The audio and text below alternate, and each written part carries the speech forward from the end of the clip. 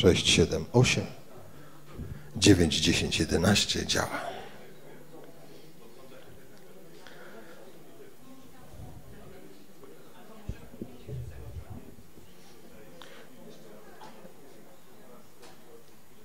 Szanowni Państwo, proszę zasiąść i zaczynamy. Niech będzie pochwalony Jezus Chrystus. Witamy Państwa bardzo, bardzo serdecznie na 51. spotkaniu z cyklu z Janem Pawłem II ku przyszłości. Chcę powiedzieć, że naszym dzisiaj głównym gościem, współgospodarzem spotkania jest ksiądz infuat Dariusz Raś. Witam z wielką serdecznością pierwszego sekretarza, ojca, jak to brzmi, prawda? Ojca Stanisława Dziwisza, kardynała, szefa, sekretarza Jana Pawła II przez cały jego pontyfikat, zarówno jako kardynała, jak i potem papieża Jana Pawła II. Ksiądz infuat Dariusz jest w tej chwili człowiekiem, który odpowiada za Kościół Mariacki. I teraz pozwolę sobie przeczytać, kim w ogóle jest. Pozwolisz?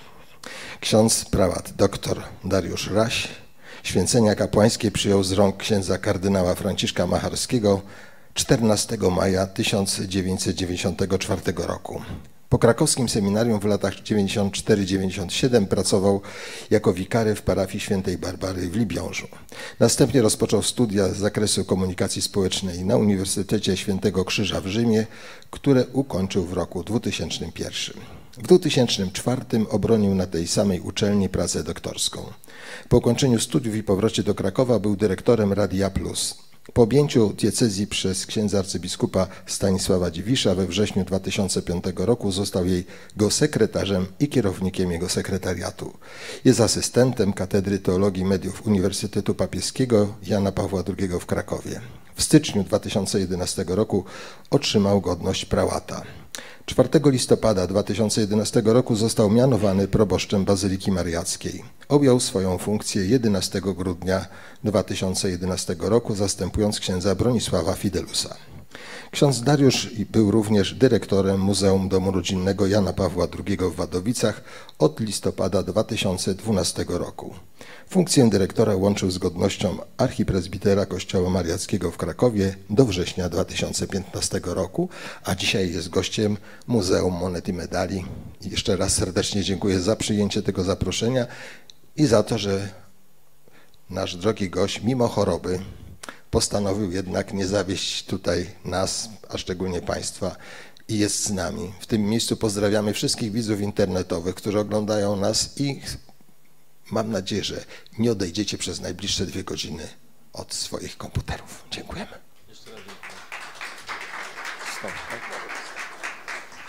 Bardzo serdecznie witam. Myślę, że postaram się e, dać radę i Jan Paweł II pozwoli mi na to, żeby w dobrej formie, w lepszej formie mój głos był na końcu niż na początku. E, tak, bo w poniedziałek jeszcze nie mówiłem. Dziękuję za... Dobrze. E, dziękuję za zaproszenie. Zawdzięczam je na pewno Janowi Pawłowi II. To nie jest jakiś no, próżny zachwyt nad jego osobą, ale muszę powiedzieć, że to tylko dlatego, że z jego osobą byłem związany bezpośrednio, ale też pośrednio, odważyłem się tutaj przyjechać. Chcę powiedzieć garść moich refleksji osobistych, ale też później przejść do trochę takiej bardziej skomplikowanej sprawy, którą nazywam archeologią osoby Jana Pawła II, ponieważ brałem udział w tworzeniu Muzeum Jana Pawła II, pewnie najbardziej kompletnego Muzeum Jana Pawła II na świecie, które znajduje się w Wadowicach. Ale na początku moja, moje spostrzeżenie z dzieciństwa. Otóż w moim domu w Nowej Hucie, kiedy byłem nierozgarniętym jeszcze chłopcem, za szybą w kredensie rodzice trzymali dwa portreciki czarno-białe kupione na odpuście w mogile. to takie sanktuarium Świętego Krzyża w Nowej Hucie, dzisiaj znajdujące się na tym terenie, a mogiła to cystersi, y, wielka, wielka, od 1222 roku historia, związana też odrowążami, y, z ich fundacją. Y, te dwie fotografie to był prymas Wyszyński i biskup, arcybiskup krakowski, kardynał Wojtyła. I nigdy nie przypuszczałem, że pewnego e, razu jeden z nich stanie się no, takim wielkim liderem światowym. Jako chłopiec dowiedziałem się o wyborze papieża mm, tak naprawdę świadomie od koleżanki w szkole. I to było bardzo ciekawe, kiedy przyszedłem do domu i, i ta radość, która wtedy wybrzmiewała, ten, ten, to, to miejsce i ten czas zapamiętałem na całe życie. I pewnie to miało wpływ na wybór moich y, różnych dróg etycznych, życiowych, y, misji, którą pełnię obecnie. I chcę na początku powiedzieć, że y, ta osoba, ta wrażliwość, którą ona wokół siebie dawała i przekazywała, miała na mnie wielki, wielki wpływ. Myślę, że jest tak z wszystkimi Polakami poniekąd, właśnie tymi z Baszcza, którzy byli świadomi w czasie pontyfikatu Jana Pawła II. Y, spotykałem się wielokroć z Ojcem Świętym, miałem wielki dar y, od opatrzności Bożej, że mogłem i być na obiedzie z Ojcem Świętym w czasie studiów. Był taki piękny zwyczaj, że przychodziliśmy do niego w Wielki Czwartek. Jedliśmy razem baranka. Wielki Czwartek, Dzień Kapłański, zapraszał kapłanów krakowskich, którzy przebywali w Rzymie, przejazdem. Niektórzy specjalnie przyjeżdżali w tym czasie, żeby tam zostać zaproszony. A ja miałem ten czas, y, że co roku mogłem Wielki Czwartek po prostu być zapytany przez papieża czy przez jego sekretarza, przez wszystkich przy tym stole, co robię, jaka sytuacja y, zmian w mojej pracy naukowej tam zaszła. Y, to było bardzo piękne. Miałem okazję, niezapomnianą okazję, bycia, jak nazywaliśmy to e, z kolegami, którzy studiowali wtedy doktoraty, e, być na dachu e, Watykanu. Nazywaliśmy to tak na dach świata, bo to była szósta loggia. Jeszcze wyżej sporo niż papież mieszkał. Jest tam taki taras. W tym, na tym tarasie Jan Paweł II zamontował dla swoich potrzeb drogę krzyżową. Ten taras był osłonięty murem nie było widać tej drogi krzyżowej y, z zewnątrz. Może dzisiaj tylko pewnie drony mogłyby zobaczyć papieża, który tam się przechadza i robi drogę krzyżową. Ale ten taras też dla mnie osobiście był to wielki, fascynujący dar. Dlaczegoż? Bo tam stał klęcznik, to tam była chusteczka i różaniec Y, ten tarasowy, różaniec, ta tarasowa chusteczka, on tam codziennie się modlił. My przychodziliśmy pewnie, kiedy on już y, w wielkiej prywatności Ojca Świętego. Y, dziękuję za to bardzo opatrzności. Chcę wam to wszystkim powiedzieć, że bardzo dziękuję.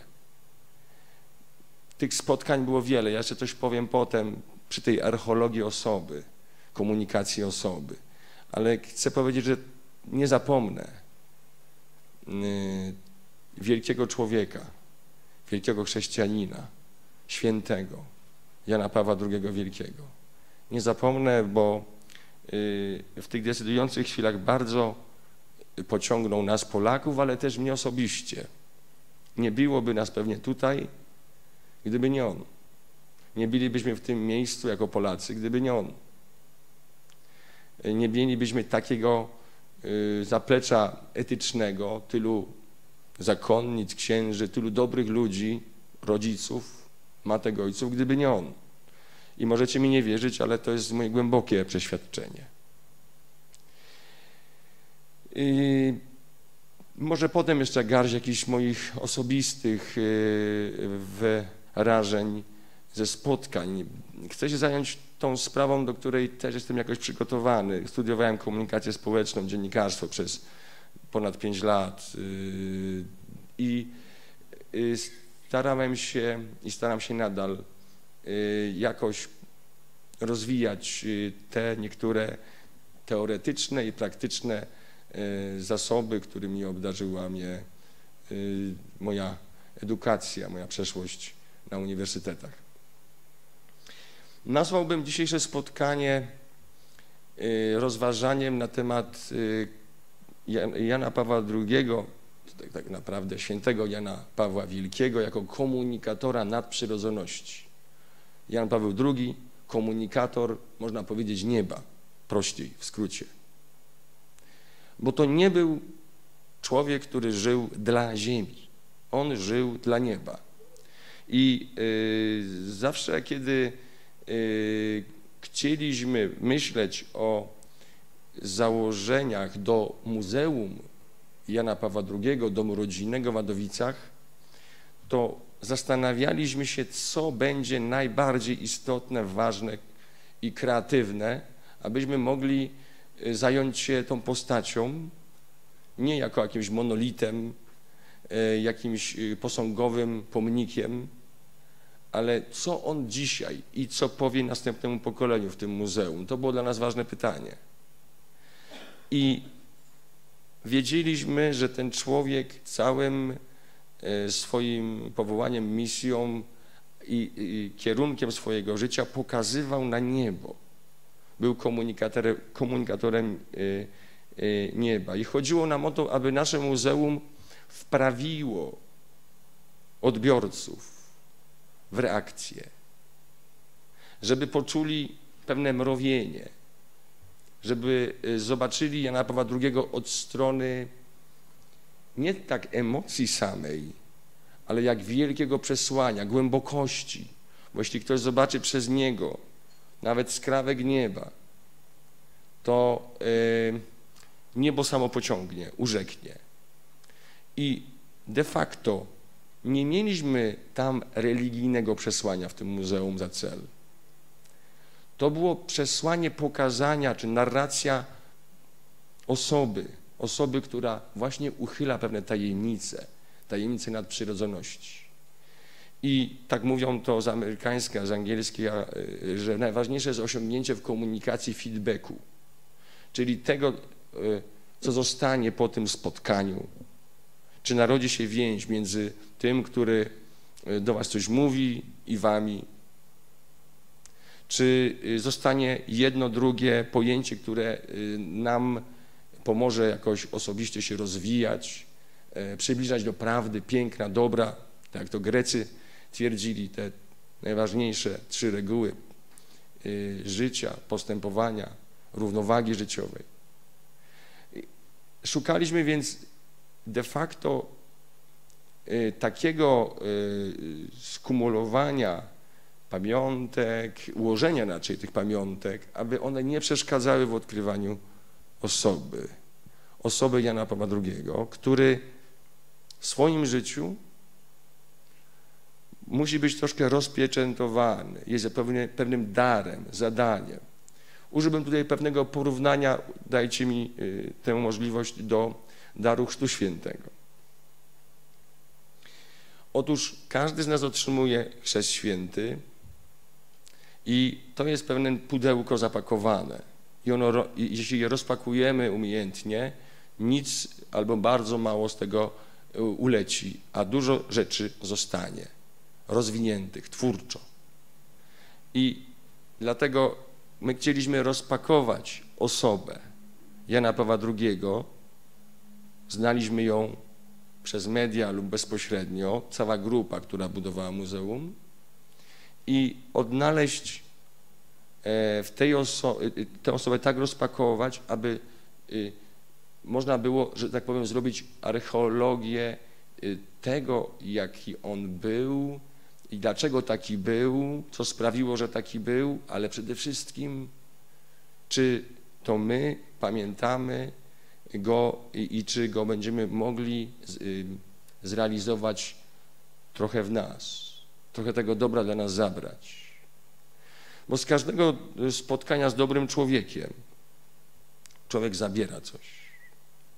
I nie chcieliśmy zamieniać go w fotografię albo zamieniać go w jakiś e, bardzo udany zbiór pamiątek, ale chcielibyśmy, chcieliśmy bardzo pokazać e, właśnie to dobro, aby było do uczknięcia przez każdego odbiorcę.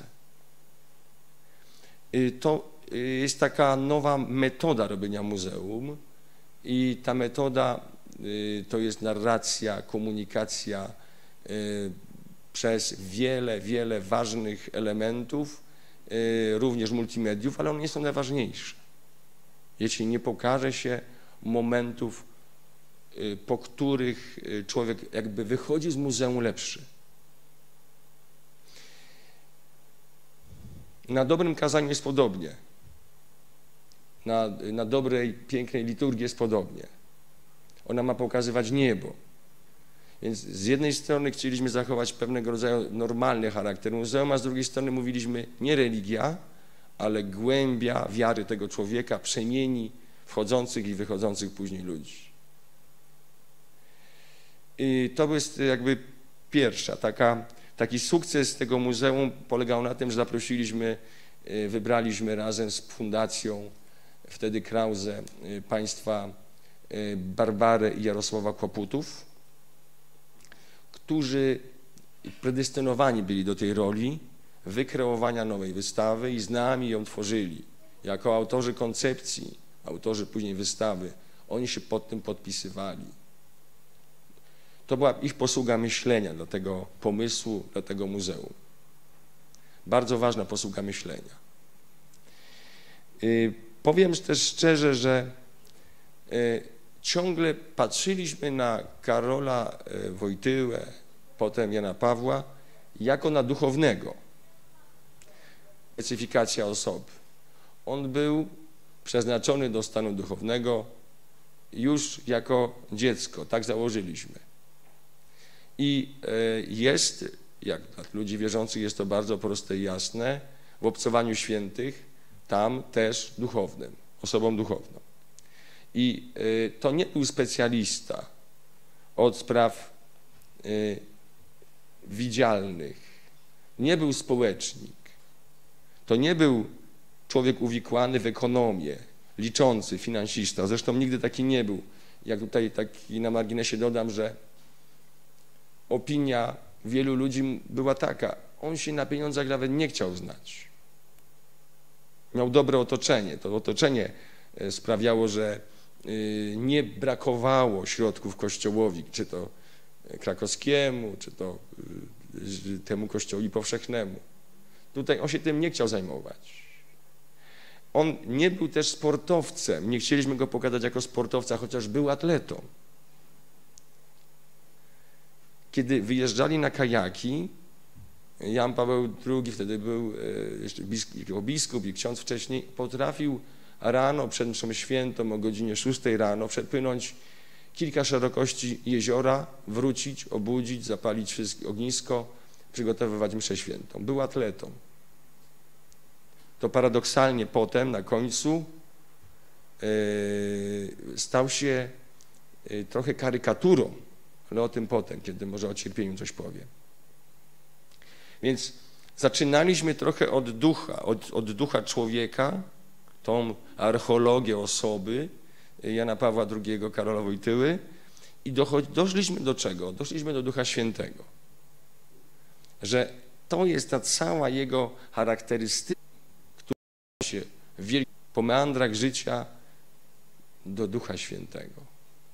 Yy, to już jest no, yy, uniwersytet chrześcijaństwa, ten Duch Święty. Ale zaczynaliśmy od ducha, jego duchowości, jego osobowości, tym, czym yy, stał się dla na początku Wadowic, potem Krakowa, Rzymu, świata i nieba. Tu na początku też chcę powiedzieć, że ten odbiór Jana Pawła II dzisiaj jest weryfikowany. Wiemy dobrze, dzisiaj jest to hasło SDM 2016 Kraków i tak dalej. Przyjeżdżają milion, dwa miliony ludzi z całego świata młodych, aby się modlić. W Krakowie, aby się rozglądnąć po y, współbraciach z całego świata, pomodlić się razem o pokój, o dobre natchnienie do życia, przyjadą.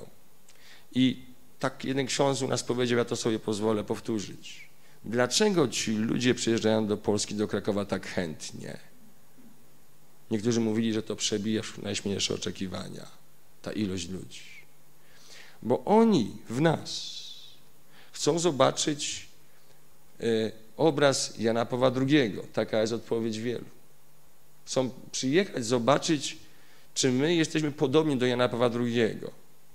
Czy y, Jan Paweł II w nas, no, można powiedzieć, dobrze funkcjonuje, to co on zostawił? Czy naprawdę żyjemy według jego y, niektórych wskazań? Czy Polacy są, ty, to są ci ludzie od Jana Pawła II? Czy są tak gościnni? Czy są mm, y, do niego po prostu podobni w dobrym? I to trzeba dzisiaj sobie y, powiedzieć i uaktualizować trochę tą sytuację. I to robiliśmy, planując y, współpracę z Światowymi Dniami Młodzieży, kiedy byłem y, dyrektorem na jedną czwartą etatu w Wadowicach, bo nie wydałem rady więcej tam godzin bywać w tygodniu. Druga sprawa jest taka, że mamy dzisiaj, też tytułem to wstępu, jeszcze mówię, 1050. rocznicę chrztu, mieszkowego chrztu. I de facto pokolenie powojenne miało okazję do tysiącletniej rocznicy i ona była przeżyta bardzo dobrze, intensywnie, ale trochę, mm, trzeba powiedzieć, y, w podziemiu, obok państwowości. Państwo swoje, katolicy swoje. Dzisiaj mamy tą okazję, też dzięki y, Janowi Pawłowi II, aby przeżywać to trochę bardziej zjednoczeni. I y, trzeba powiedzieć, że do pokolenia Jana Pawła II y, ma wielkie osiągnięcie, że przeżywamy i możemy przeżywać bardziej zjednoczeni to 1050-lecie chrztu. I to pokolenie Jana Pawła II w tym roku ma łaskę przyjmowania młodych ludzi, i Jan Paweł II w tajemnicy świętego obcowania, jak powie teolog, czy dobry katecheta, się sprawdza na naszych oczach w tym roku, teraz. Mamy oczywiście tą, tę sytuację w pewnym kontekście sprzeczki, kłótni politycznej, narodowej. Tak, to też jest y, jasne y, dla nas wszystkich, że nie jest najlepiej Czasami nawet w rodzinach jesteśmy podzieleni. Ale jakże pragnęłby pewnie Jan Paweł II, żeby ta baza była twórcza, jedna, a żebyśmy się tylko o, kłócili o niektóre szczegóły, a nie o pryncypia. Yy, jeszcze powiem tylko jedno, że już pół miliona ludzi odwiedziło to muzeum, które otworzyliśmy, to nowe muzeum. Tam było wcześniej muzeum bardzo ekspozycyjne, piękne, w bardzo małej skali. I to muzeum nasze odwiedziło już pół miliona ludzi i jest to na pewno jedna z pereł Małopolski i Polski, jeśli chodzi o muzeum. Jeśli ktoś by z Państwa nie był, stronie, na stronie internetowej można zamówić sobie i podjechać do Wadowic y, y, w dobrym y, czasie i korzystnym dla siebie. W muzeum, w tej archeologii osoby, odsłaniania komunikatora y, naszego muzeum Jana Pawła II, odsłanialiśmy różne źródła osobowości, duchowości. Ja sobie tych źródeł tutaj wypisałem osiem, pokrótce o nich powiem, mam nadzieję, że nie będę przynudzał. Po pierwsze, u Jana Pawła II pierwszą rzeczą, która się bardzo mocno wyłania, której później, później zabrakło w jego życiu, ale najważniejszą taką bazą jego życia była wspólnota rodziny. Y, bardzo wpisani byli w historię. Powiązani z Czańcem, z Bielskiem, y, z ziemią y, właśnie tamtą podbeskidzką i część rodziny mamy, zwłaszcza krakowska. Trzeba powiedzieć, że bardzo mocno był młody Karol związany z rodziną. Żył trochę, y, trochę y, na początku nawet można powiedzieć w cieniu brata, Edmunda. Odkryliśmy to, że ten Edmund dla niego był bardzo osobą, yy, która go fascynowała. On go zabierał w góry. On bardzo pięknie pracował, uczył się również. Był świetnym lekarzem, jak Państwo pewnie wiecie, podczas epidemii choroby zakaźnej, chyba szkarlatyny. Leczył chorych w Bielsku szpitalu i zaraził się i umarł. Była mm, sprawa y, też siostry, która zaraz szybciutko po urodzeniu umarła. I ta rodzina ciągle odchodziła. Później mamusia umarła. I oczywiście umarł w końcu w Krakowie ojciec. I rodzina, on poznał rodzinę bardzo intensywnie. Bardzo intensywnie ją y, poznawał jako najmłodszy jej członek bardzo był oddany. Związki z ojcem były też niesłychanie cenne. Mamę pamiętał, ale y, jako mały dzieciak. Y, wiedzieliśmy, że ta rodzina, y, która mieszka w Wadowicach, w oficynie, na, na pięterku, trzeba było przejść przez balkonik na zewnątrz, żeby wejść do ich pokojów, była niesłychanie wpływająca na duchowość młodego Karola. Oni się razem modlili. Klękali, jak już mamy zabrakło też z ojcem, na, na kolana. Modlili się razem. To był filar, który osobowość Karola Wojtyły ciągle um, był y, dla niego nie bar, bardzo istotny. Czynnik niebywale wa, ważny dla niego. To odkryliśmy w bardzo prosty sposób tą więź, bliskość wiary. I ten hard rodzinny, może przekazany przez oficera, yy, tatę. Tam taki pokój jest właśnie zachowany, odtworzony i zachowany, bardziej odtworzony niż zachowany z czasów yy, wadowickich, gdzie ta rodzina mieszkała. On jest może troszkę upiększony, Y, ale staraliśmy się odtworzyć elementy też bardzo proste, jak piec, Wojtyłów, blacha. Jest obrazek z pierwszej Komunii Świętej, oryginalny, oryginalny. I y, klęcznik. To niesłychana sytuacja, kiedy widać było, jak oni w tej rodzinie byli razem, umacniali się, a potem pomimo wykruszania się mężniał ten młody Karol. Druga, według y, mnie taka istotna odsłona źródła duchowości Wojtyły, to była bardzo bliska rodzinie y, sprawa. Oni mieli takie okno, okno, w którym zresztą y, okno kuchni, okno kuchni i okno sypialni, w której się urodził Karol, wychodziło na kościół bardzo proste odniesienie od dzieciństwa. Druga wspólnota, którą zaobserwowałem i chciałem Państwu przybliżyć, to jest właśnie ta wspólnota jakby wiary, wspólnota Kościoła. Na Kościele był zegar słoneczny, czy dzisiaj już nie słoneczny. I, i tam był napis czas ucieka, wieczność czeka. Na pewno kiedy Karol patrzył przez to okno, jeszcze nie, nie czytał dobrze Pytał, co to znaczy rodziców. Dlaczego to na kościelnym murze?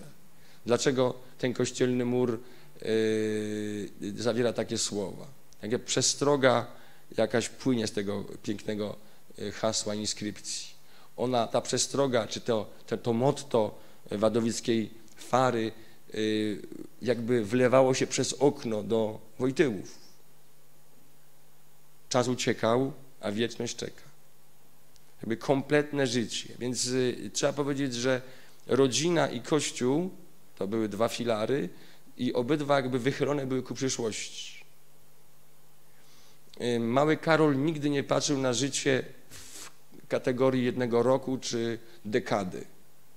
Patrzył od dzieciństwa na swoje życie i życie innych e, w kontekście ucieczki czasu i w kontekście wieczności. Skończy się to życie. Ten młody chłopczyk musiał się przebić już przez tę tajemnicę. I y, wiedzieliśmy razem z kłaputami, naszymi projektantami, wiedzieliśmy, że trzeba popatrzeć na ten zegar jako pewnego rodzaju motto i użyliśmy go nie tylko w narracji tych pokojów rodzinnych, ale jeszcze w narracji ostatniej godziny. W pewnym miejscu muzeum użyliśmy tego zegaru jeszcze raz i połączyliśmy z zegarem, który dokładnie w minucie śmierci został wypróżniony z baterii i zatrzymał się. I w jednej z, końcowych, jednej z końcowych sekwencji muzeum możecie zobaczyć te dwa zegary jeszcze raz razem. E, to była bardzo piękna mm, metafora właśnie tego spotkania rodziny, kościoła w jego życiu.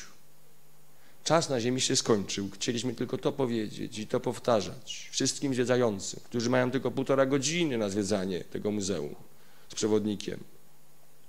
Ale trzeba y, dotknąć tej tajemnicy y, w końcu życia. Ostatnia minuta życia. Próbujemy przeprowadzić właśnie w tym momencie pewnego rodzaju y, taką refleksję, że tutaj właśnie prowadzi nas bezbłędnie Karol Wojtyła, ten mały, i Jan Paweł II, ten święty. Życie nasze przemija, jak trawa. Ważne jest to, aby y, dobrze zasłużyć sobie na wieczność, aby odpowiedzieć, aby zostawić po sobie dobre ślady, aby inni mogli po nas chodzić i nie zbłądzić, aby te dwa zegary się nałożyły. Ten zegar narodzin, przy narodzinach ten zegar patrzył przez okno na rodzinę Wojtyłów, i ten zegar bez baterii, wypróżniony, y, zamknął, y, zamyka naszą y, drogę, niejako u niego. Trzecia mm, wspólnota, którą odkrywaliśmy wspólnie, patrząc na tę archeologię osobowości Karola Wojtyły, to była wspólnota lokalna, można powiedzieć nie samorządowa pewnie, ale lokalna Wadowiczanie, Wadowice, 18 lat życia. Nie mogliśmy tego pominąć. To zresztą było naturalne, że w tym miejscu, gdzie on się urodził, spędził czas, grał w piłkę, bawił się, chodził na ministranturę. Y, w tej wspólnocie lokalnej żył. Y, musimy to bardzo pięknie pokazać wszystkim. Co zrobiliśmy? odkryliśmy, że te wadowice żyją, e, żyły wtedy bardzo e, polikulturowo. To znaczy, to nie była jednolita kultura. Byli Polacy, ale było też mnóstwo, stosunkowo dużo procentowo Żydów. Żydów konwertytów, takich, którzy przeszli na chrześcijaństwo, też, byli, też tacy byli. Ale było mnóstwo, była synagoga, była cała gmina żydowska, mnóstwo kolegów i koleżanek Karolka i później Karola, którzy byli Żydami. Co więcej, okazało się, że ten dom, w którym robimy muzeum, oczywiście był żydowski, w pewnym momencie był żydowski, wtedy kiedy y, Wojtyłowie tam mieszkali, wynajmowali mieszkanie, bo to nie było ich. Co więcej, przecież y, jego dwóch, trzech kolegów dobrych kolegów to byli właśnie y, Żydzi wadowiccy. Jeden to nawet był, został dentystą w Rzymie i był równolegle, Kluger był równolegle dentystą w Rzymie, kiedy paradoksalnie nasz Karol był papieżem. To niebywała historia. Tak były Wadowice, zresztą taka była Polska, była mniejszość białoruska, ukraińska, była mniejszość niemiecka, się dalej jest przeważnie na Opolszczyźnie i była duża, mająca swoje koło sejmowe grupa y, Żydów. Odkryliśmy to. I dzisiaj trzeba powiedzieć, że oprócz tego odkryliśmy, że w Wadowicach był ateizm. Słuchajcie, niebywała sprawa. W Wadowicach był mocny, silny ateizm. I dzisiaj nawet y, burmistrz y, wrócił do tych tradycji. Nie stygmatyzując nikogo, katolika, mnie czy burmistrza nowego. Tak, dlaczego tam działał taki E, działała taka grupa wydawnicza, grupa literacka, e, nazywała się Czartak. E, również Emil Zegadłowicz, autor wielu książek, uważany był za piewcę ateizmu. Wadowiczanin, tam tworzył.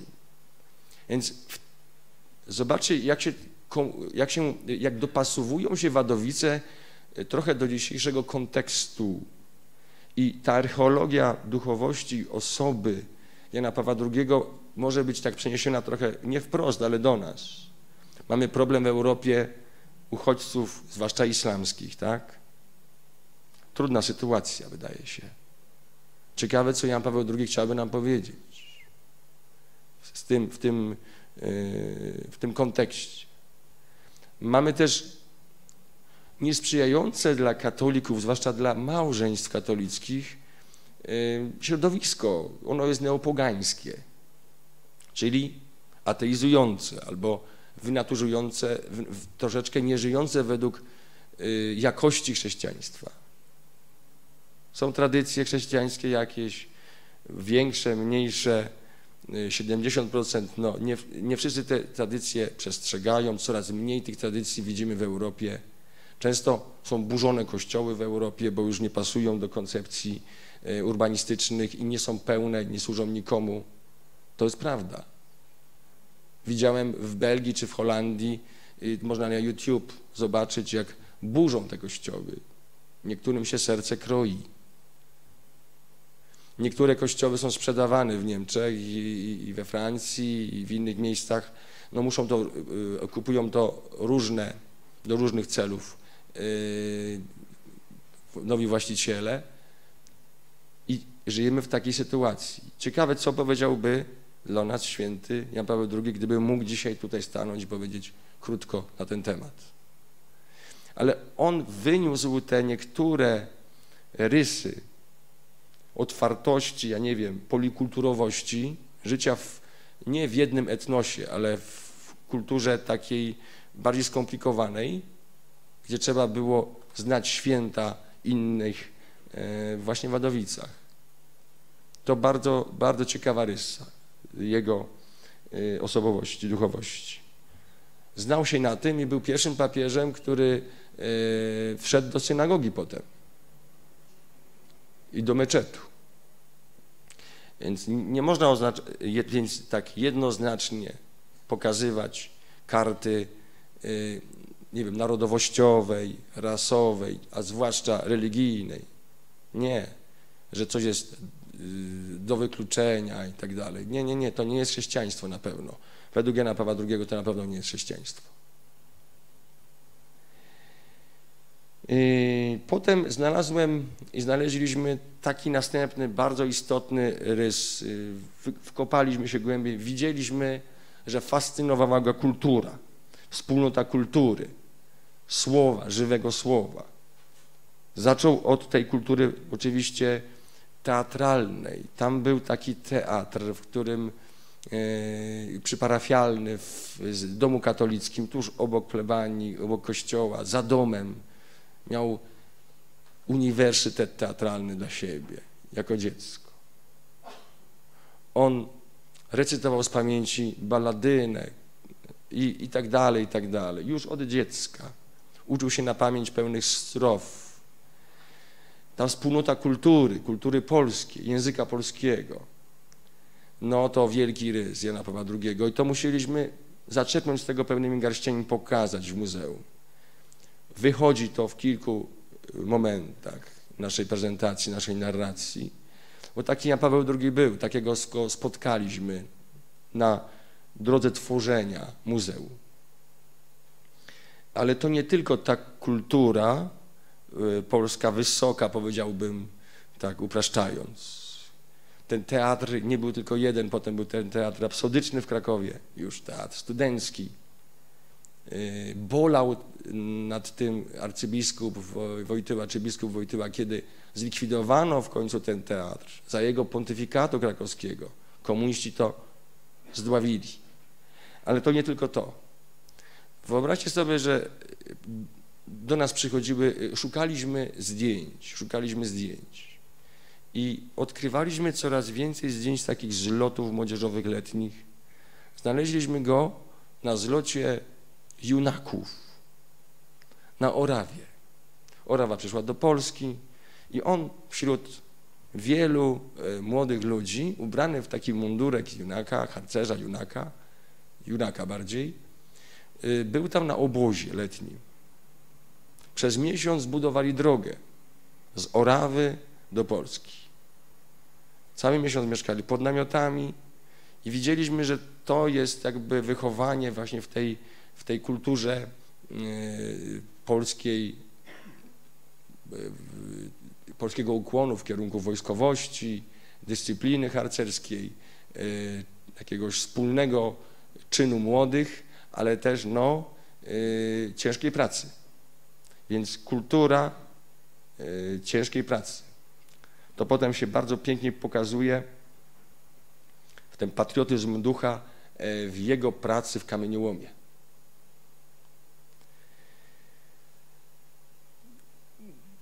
Z Wadowic, y, y, tych Wadowic można by jeszcze poszukiwać kilku przynajmniej źródeł e, jego e, głębokiego y, wejścia w życie, zainteresowania młodzieńczego życiem. Można mówić o wielu jeszcze sprawach, ale przenosząc się do Krakowa, bo tam spędził no, sporo lat, od 18 do powiedzmy 58 roku życia, prawie 40, 38 powiedziałbym raczej tam wychodzi to, że chciał, y, musiał, został zmuszony do ciężkiej pracy. Y, został górnikiem, górnikiem odkrywkowym. Ostatnio widziałem pracę profesora GH, który napisał o nim po prostu papież górnik. Górnik odkrywkowy, pracował w kamieniołomie, to ciężka praca. I ten Kraków, mm, ten górnik jednak nie był y, człowiekiem, który był tylko skierowany, żeby zarobić i uniknąć wywózki na roboty do Niemiec, bo on tutaj odpracowywał e, jakby dla państwa, dla III Rzeszy wtedy w czasie wojny ten czas górniczy. E, nie, nie był wywieziony do Niemiec z tego powodu, miał dobrą kękartę, miał wpisane, gdzie pracuje. On tam jako górnik podchodził często do łagiewnik bardzo blisko było. I stamtąd jest jego taka wielka pobożność miłosierdzia Bożego, czyli górnik przed teologiem. I ten górnik, który się modli, y, to ukłon w kierunku Śląska. No, Częstochowa jest na Śląsku y, w sensie geograficznym w tej chwili, administracyjnym bardziej, no, geograficznym mniej. Jest na wyżynie krakowsko-częstochowsko-wieluńskiej, tak, Częstochowa ale ukłon dla Śląska tutaj, tak. Oni, przez to szczęść Boże do świętej Barbary, zawsze y, tych, y, y, ten, tych górników w poważny sposób edukowali. To, to szacunek dla ludzkiej pracy. Wojtyła czerpał z górnictwa odkrywkowego, z kamieniołomu. I przechodził do sanktuarium Miłosierdzia Bożego, Potem przechodził, y, wracając pewnie często przez redemptorystów na Dębniki czy do cioci, gdzie mieszkał, do rodziny, gdzie mieszkał w czasie wojny. Potem teolog krakowski. Wiedzieliśmy, ten okres krakowski jest bardzo ważny, ale nie mieliśmy na niego miejsca w muzeum za dużo. Zmieściliśmy go w takiej sali mniej więcej, jak tutaj jesteśmy. Okres krakowski, y, ksiądz, biskup, arcybiskup, kardynał. Zamknęliśmy go w takiej przestrzeni, jak tutaj jesteśmy, nawet może niższej. I y, staraliśmy się pokazać go tak samo jako teologa, który jest też filozofem, jest myślicielem, posługa myślenia. Wstąpił do seminarium, został przyjęty, y, miał świetne noty, tylko pozazdrościć zdolności, y, przygotowany pamięciowo fenomenalnie do pochłaniania różnych zasad, dobrze znał łacinę. Jak pamiętacie, potrafił nie numerować stron swoich prac, swoich listów, swoich encyklik, tylko pisał słowa następujące po sobie psalmu. Jeśli tylko ten, kto dobrze znał ten psalm, mógł dobrze później złożyć te strony po kolei. On był taki. I jako teolog znakomity i wypatrzył go i modlił się za niego już. Wyobraźcie sobie, jak ważna jest sytuacja dobrego biskupa. Wypatrzył go kardynał Sapiecha podczas wizytacji kanonicznej w Wadowicach i zapytał proboszcza, słuchaj, ten chłopak, który tak ładnie tutaj się prezentuje, służy, to, to co będzie robił w życiu? A on mówi, że pójdzie chyba na studia, na polonistykę. A ponoć Sapiechan powiedział wtedy, szkoda. Ale ten sam Wojtyła, skończywszy polonistykę, zjawia się u Sapiechy. On go poznaje, najprawdopodobniej bardzo się ucieszył i e, od Sapiechy, i to nazwisko Sapiecha było bardzo ważne i też chcieliśmy to w tym okresie krakowskim, w tym rysie archeologicznym e, komunikacji tej osoby e, no, pokazać. Dwa, trzy lata studiów rzymskich, to mało kto pamięta, tuż po wojnie, kiedy nie zastała nas jeszcze kurtyna Stalinu, stalinizmu, jeszcze były otwarte granice, parę lat, dwa, trzy lata, taki okres przejściowy, tak, dziękuję, to yy, Sapiecha szybko wyświęcił Wojtyłę na księdza i wysłał go do Rzymu, widząc w nim pewne, pewien nadzieje naukowe i w ogóle nadzieje, posłał go do Rzymu, a i listownie powiedział mu, jedź na wakacje, proszę cię, na, zachodniej Europy. Zobacz, jaki tam jest kościół. I on był, ja to znalazłem nieraz, we Francji, w Belgii, Holandii podczas jednej wakacji. Nad, y, więc ten rys jakby krakowski jest y, związany też z otwarciem na świat. Więc Rzym to absolutna y, piękna historia każdego pobytu naszego. Jeśli ktoś był w Rzymie, wie, jak to otwiera na chrześcijaństwo, na świat, na pogląd, jaki był Rzym, Cesarstwo Rzymskie, historia globalna, można powiedzieć, tam się otwiera człowiekowi. Tam jest stolica Kościoła katolickiego i do tego te podróże, które kształciły niebywale młodego y, księdza Wojtyłę. No, prezbitera praktycznie. Potem lata całe pontyfikatu to też y, było bardzo y, naszym takim staraniem podjęte pod analizę. Nie chcieliśmy, wiedząc, że Rzymu do końca nie odkryjemy, że Rzym ma swoje tajemnice, sekretariat stanu ma setki zapisków, oryginałów, podpisów, że tego nie odkryjemy do końca, ale uczknęliśmy troszkę z tego. Wiemy, że towarzyszyło mu hasło e, totus tus, cały Twój. Odnosiło się to do Maryi i do Kościoła. Maryja jest obrazem Kościoła, a de facto odnosi się do Boga.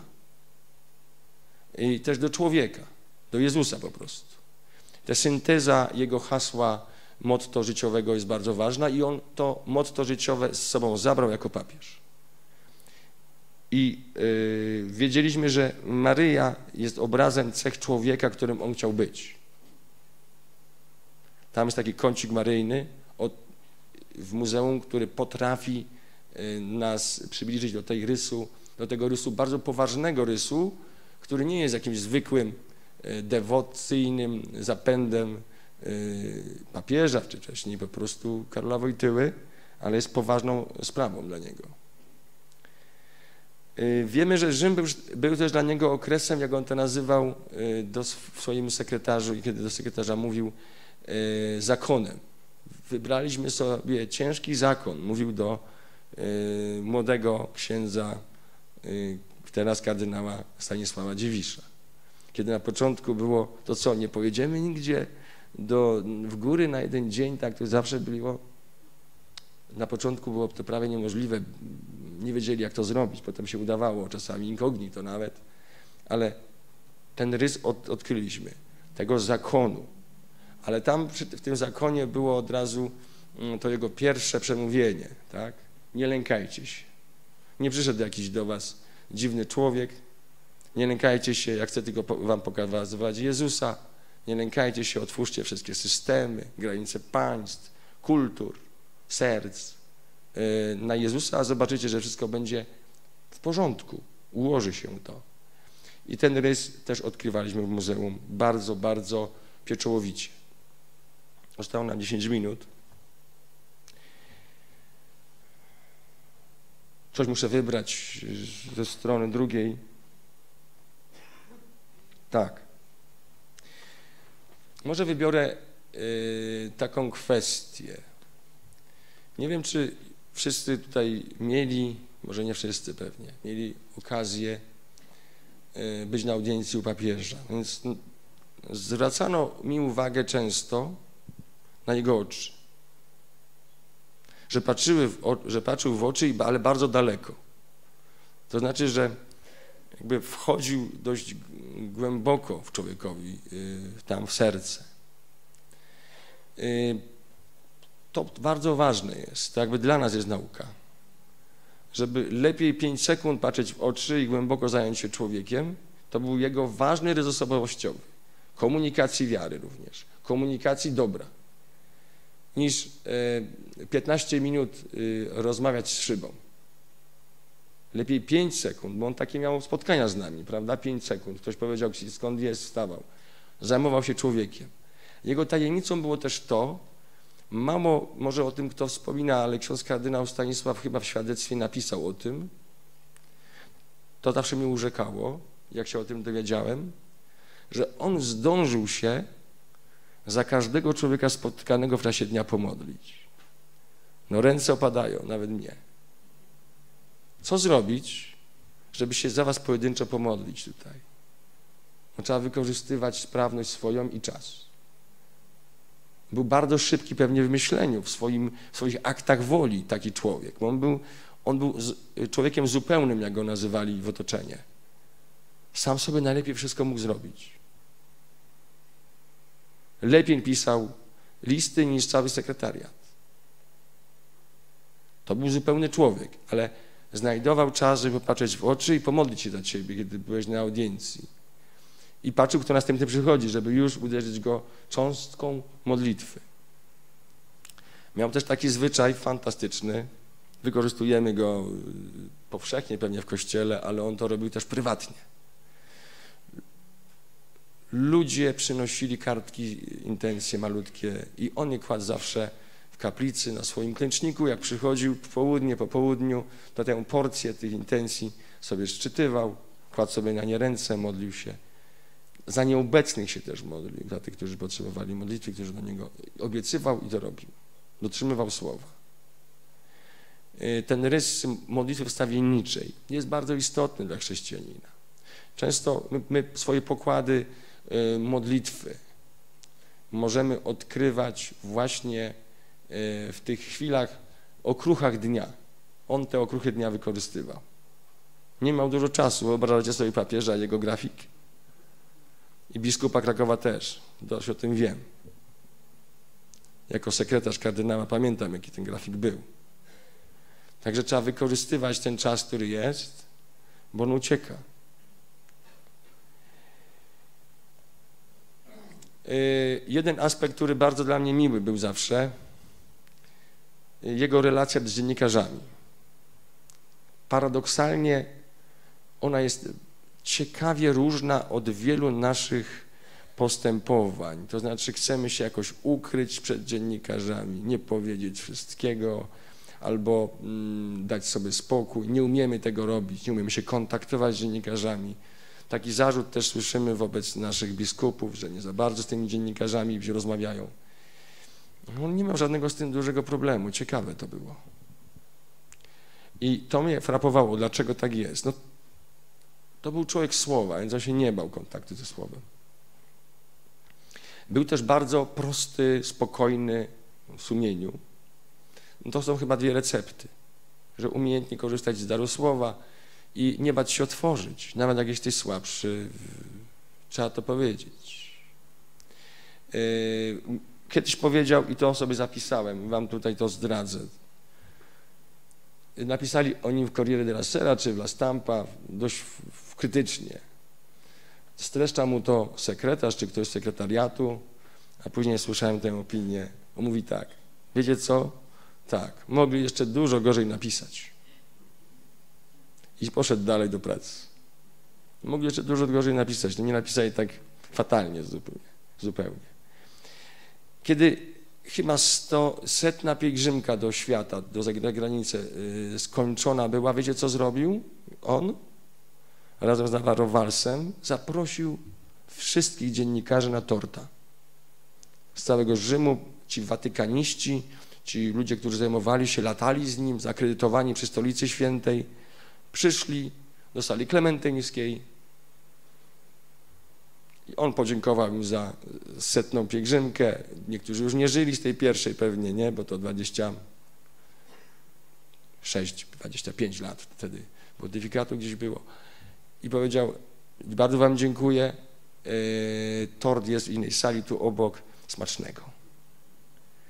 Dziennikarze e, kochali go tak samo za miłosierdzie Boże. Jak przyjechali tutaj do Krakowa poświęcić tę Bazylikę Miłosierdzia, on powiedział kazanie. To kazanie ja przeżywałem z dziennikarzami.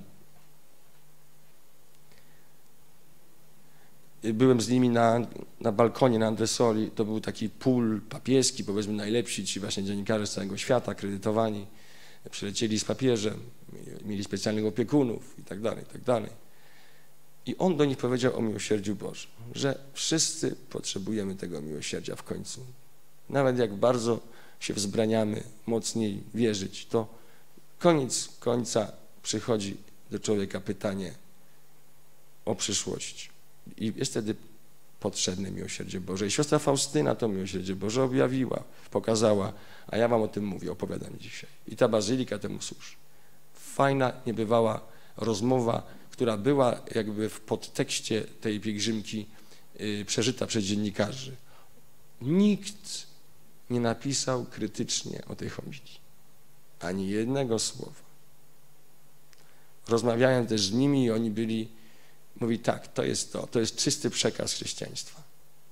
Więc to miłosierdzie Boże, obchodźmy się z nim bardzo delikatnie, pokazujmy je, nie, wlewa, nie, nie rzucajmy pereł przez, przed, przed wieprze oczywiście też, ale zobaczcie, ile robi to słowo zamieszania w sercach ludzi, którzy są różnie nastawieni do chrześcijaństwa Mogliby być nawet uprzedzeni, widząc grzechy chrześcijan.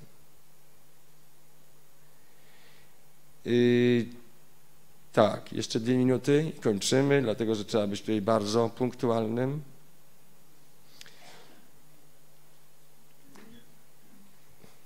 Naśladowanie Jezusa. W muzeum pokazaliśmy jeden trudny moment on trwa tam minutę. To jest uczestnictwo w umieraniu człowieka. Słychać serce, które bije, bije, bije, bije, bije i się powoli zatrzymuje. A przed nami twarz człowieka, Karola w tym przypadku, dziecka, młodzieńca. Przenikanie tych twarzy następuje aż do twarzy staruszka naszego papieża, już umęczonego chorobą. Ta strefa, którą nazywam teraz roboczo serce, jest centralnym, mm, jednym z centralnych miejsc y, przeżywania narracji tego muzeum i chcieliśmy tutaj w taki ponadczasowy sposób zatrzymać na chwilę każdą grupę, aby zobaczyła Pismo Święte, które zakończono czytać właśnie w tym dniu tym, w tych minutach podkreślono, w tych dniach, w tym miejscu Amen, napisała siostra Tobiana. Jedna z sióstr, pięciu, które towarzyszyły papieżowi w ciągu watykańskiego życia, sercanka. I ona napisała tam Amen. Ona skończyła, to jest ostatnie czytanie, które ona zrobiła. Czytali też inne Pismo Święte, ale ona, i to Pismo Święte leży w, tej, w tym miejscu serce. E, kiedy ono e, w tej strefie wybrzmi i kiedy zobaczymy ten moment e, właśnie oczami kart świadka Słowa Bożego, to trochę inaczej patrzymy też na nasze odchodzenie i to jest jeden z momentów kluczowych, taki klimaks, czyli punkt ciężkości, punkt przełomowy w zwiedzaniu y, y, tego muzeum i narracji o Janie Pawle II. Całe życie naśladował Chrystusa aż do tego momentu i przeszedł, jak ufamy, jak jesteśmy przekonani, do domu Ojca i tam e, za nami się dzisiaj modli. Dziękuję.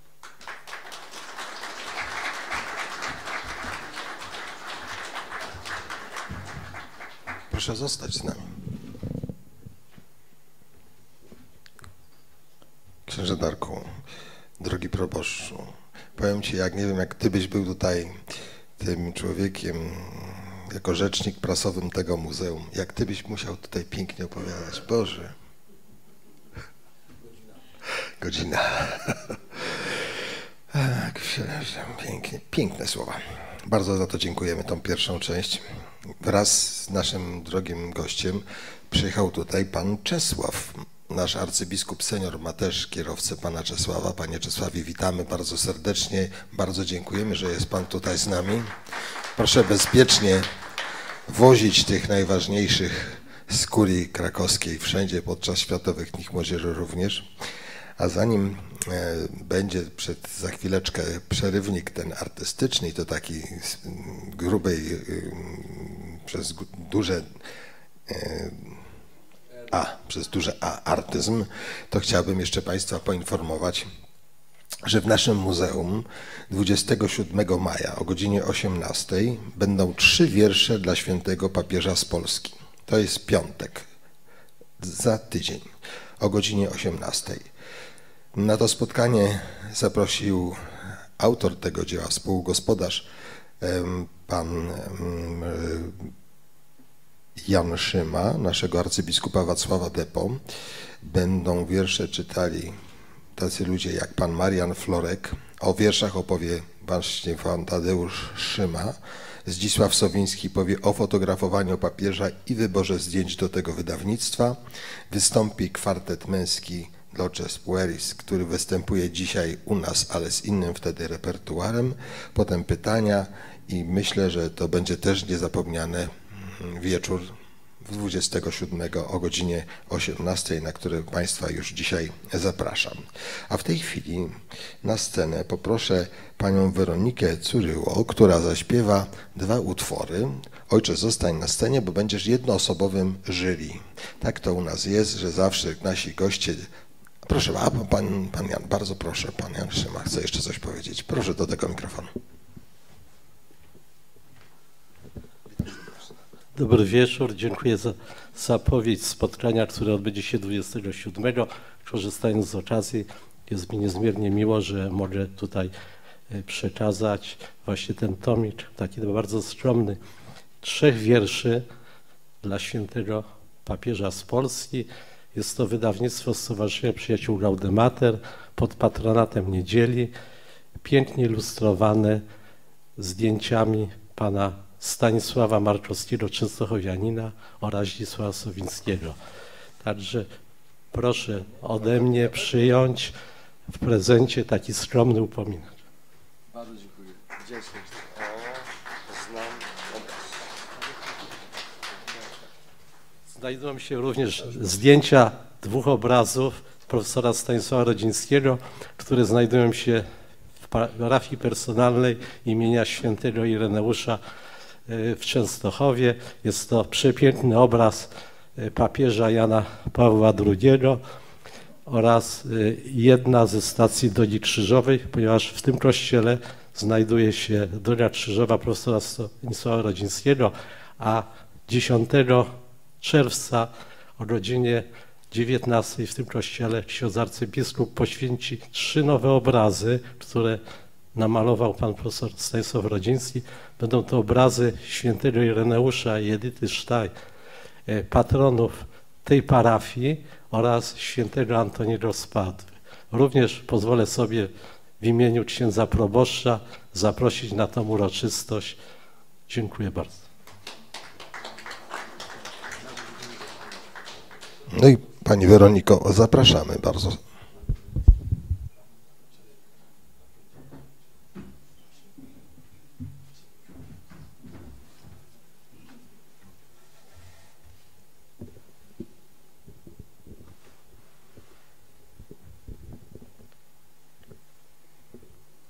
Zostawić od siebie, to jest z Krakowa, coś znalazłem w szufladzie, co może, może macie już, a może nie. Ale to bardzo dobre. Z. Tak, to jest y, medal na 400-lecie y, Seminarium Duchownego w Krakowie. Nas ciężko zaskoczyć, jeśli chodzi o medale. Ja myślę, że tak, że macie pewnie to, ale dzięki temu można coś jeszcze wymienić z jakimś kolekcjonerem zagranicznym. Nie, Więc tak, gra- pamiątek danych nie rzucam na wymianę, one po prostu u nas są. to jest, jeśli to jest duplikat, to się też cieszę, że nie byłem pierwszy, że byli dobrzy ludzie. I, i tutaj jest Kraków, jest jednak papieski duży akcent jego herb z tiarą to pewnie z pierwszych lat pontyfikatu był tutaj podjęty. Wszystk- Wszystkiego dobrego i może coś jeszcze dodać. Kochani, zamieniliśmy się teraz mi mikrofonami. Bardzo dziękuję. Y, Nigdy tak nie było, żeby gospodarz dostawał kwiaty, a wykonawczyni właśnie tak schodziła tylko z dyplomem. Y, Jest mi teraz łyso, y, więc ten kwiat y, przesyłam Ci, Weroniko, tak wiesz, wielki, piękny bukiet. Jak kiedyś będziesz zajmowała miejsce na interwizji pierwsze, to na pewno dostaniesz specjalny bukiet od prezydenta.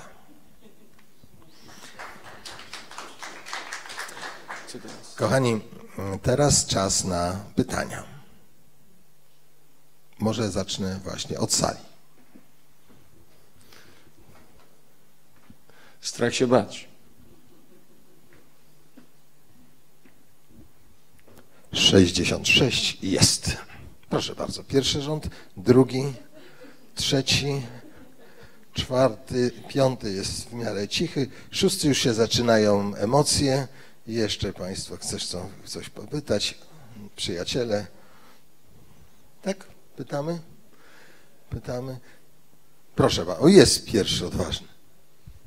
E, Szczęść Boże księdzu. Ja mam takie pytanie, jeżeli, na które chciałem, nie, nie znam takiej odpowiedzi właściwie, które powiedział Ojciec Święty, gdy pierwszy raz przyjechał do Często, znaczy do Polski i Warszawie powiedział takie znamienne historyczne słowa Niech stąpi duch Twój i odnowi oblicze ziemi tej ziemi. To jest takie pierwsze moje pytanie, co on miał na myśli, czy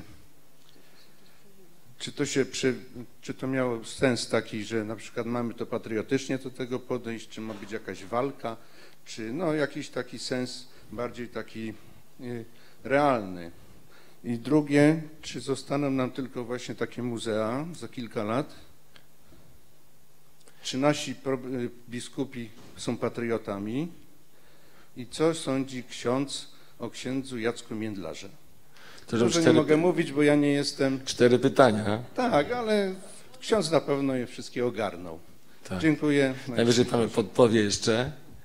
No, zacząłbym od, y, Dziękuję. od końca. No, nie znam dobrze y, księdza y, Międlara. On jest dość młodym księdzem, tak? 21 lat, pewnie młodszy ode mnie kapłaństwem. Jest, y, jest to człowiek inteligentny. Jest to człowiek inteligentny, dobrze oczytany. Słuchałem jego dwóch, trzech homilii, nie na żywo, ale w internecie, z ciekawością.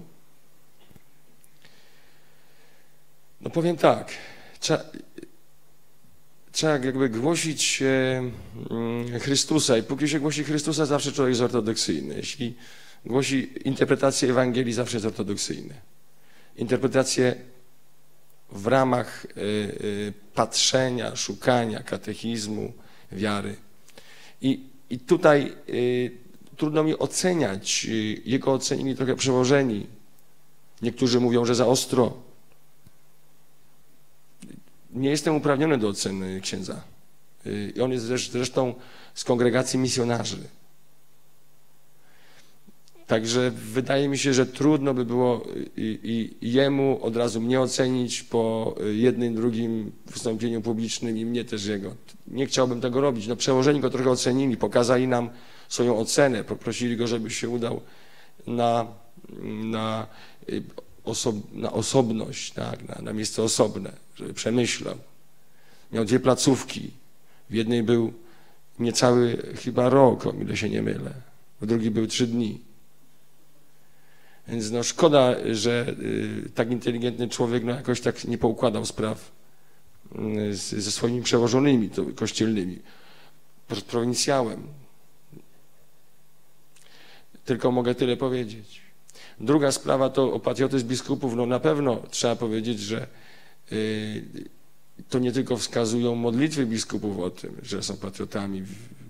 Ja mam nadzieję, że wszyscy z nich nie tylko się modlą za Polskę, ale i, i, i, i pracują dla Polski.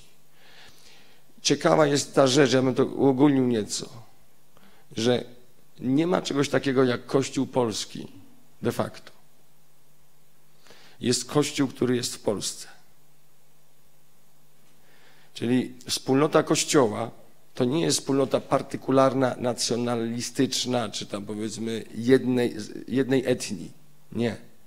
Jezus y, Chrystus jasno o tym też mówił, że y, Jego przesłanie pójdzie dalej, poza naród wybrany. Także wydaje mi się, że w tym y, aspekcie nawet można powiedzieć, dużo się tutaj może nie pomylę, kiedy powiem, że wcześniej niż wspólnota Kościoła jest wspólnota rodzinna, tak u Jana Pawła II było, a potem jest wspólnota narodowa. Następną wspólnotą jest wspólnota narodowa. I żebyśmy poukładali dobrze te wartości wspólnoty, bo my się zbawiamy w rodzinie, tam, stamtąd bierzemy wiarę yy, ze wspólnoty kościelnej. I to odniesienie jest też do wspólnoty jakby swojego narodu. Po polsku się uczymy modlić, tak? Biskup Nosol mówi o języku serca. I, i, i, i w tym my, my chcemy uszlachetnić naszą ojczyznę. Jan Paweł II tak to robił. Ja bym tutaj e, podszedł od tej strony. Te dwa pytania są bardzo wspólne, tak. E, trochę mają taki wspólny mianownik o księdza, który e, trochę, można powiedzieć, duszpasterzował w niekonwencjonalny sposób. To nie zostało do końca zaaprobowane przez przełożonych. I o naszych biskupów. Za nich też się mamy modlić, mamy z nimi mówić, mamy do nich mówić y, to, co jest piękne i to, co boli. Na tym to polega. On jest, każdy biskup jest naszym ojcem. Ojcem diecezji. I to nie jest tylko idealny y, układ, ale tak jest, że trzeba mu powiedzieć, jeśli coś jest chore. A jeśli coś jest piękne, też pochwalić. Y, pierwsze pytanie. A tak, tak. Bardzo pięknie to pytanie jest staraliśmy się tak zrobić to muzeum, jak tutaj pan Krzysztof. To znaczy tak, że kiedy to pokolenie minie, żeby ono tą narracją, tutaj bardziej wystawą, ekspozycją, a u nas narracją, przekazem też nowoczesnym przy okazji tej ekspozycji, którą mamy, żeby one powiedziały dzieciom urodzonym y, w dniu śmierci Jana Pawła II dużo o tej osobie, żeby mogły trochę tej duchowości nabrać pełnymi garściami. Sposoby komunikacji, tak, e, tak wielkiego człowieka mogą się zmieniać, ale dzieła pozostają. I my wszyscy jakby mamy taką kwestię, że jakby chcemy zostawić po sobie dobrą rodzinę, następne pokolenie, tak? Ale u chrześcijan ważne jest to, żebyśmy naśladowali Chrystusa, bo to było opcją życia e, Karola Wojtyły i jakbym nie, nie chciał, on by nie chciał, żebyśmy go absolutyzowali. Żeby on był na absolutnym piedestale, jako najwybitniejszy święty spośród wszystkich świętych, on by tak nie chciał o sobie słyszeć. I wydaje mi się, że tu jest klucz, tak? Że to jest numer jeden Polak na pewno w historii, to wiemy. Więc jeśli to muzeum za 50 lat będzie potrzebowało środków, żeby się odnowić, mówić nowymi językami, ale mając stare eksponaty, prawie relikwie albo relikwie, to to jest bardzo dla nas piękne i, i, i, i byłoby to bardzo skuteczne. Kiedy nas nie będzie, żeby tam y, uzbroili to muzeum w jeszcze lepsze środki przekazu. Tak. Na tamto muzeum wydano sporo pieniędzy. Minister wtedy mówił, właśnie tyle trzeba było. Niektórych to było bardzo dużo, dla niektórych ciągle za mało, bo chcieliby jeszcze więcej, jeszcze więcej tam włożyć różnej aparatury. Ale y, to, co zrobiliśmy dla tego pokolenia, mam nadzieję, że przekonuje dzieci urodzone y, już dzisiaj no, dziesięcioletnie, że uczy ich Jana Pawła II po prostu y, wyobraźnię Jana Pawła II, tego jego komunika, komunikowania Jezusa, komunikowania człowieczeństwa, komunikowania kultury, bo to był wielki komunikator. I, i, i trzeba, żeby tak muzea były y, takimi wehikułami czasu, które zabierają człowieka gdzieś w przeszłość, ale natychmiast go wracają ku przyszłości. Taka jest dzisiaj y, tendencja, myślę, że najbardziej piękna i skuteczna edukacyjnie. To znaczy na to pytanie, ja pierwszy raz mam mikrofon w ogóle w ręku, chociaż przeżyłem 62 lata, nie?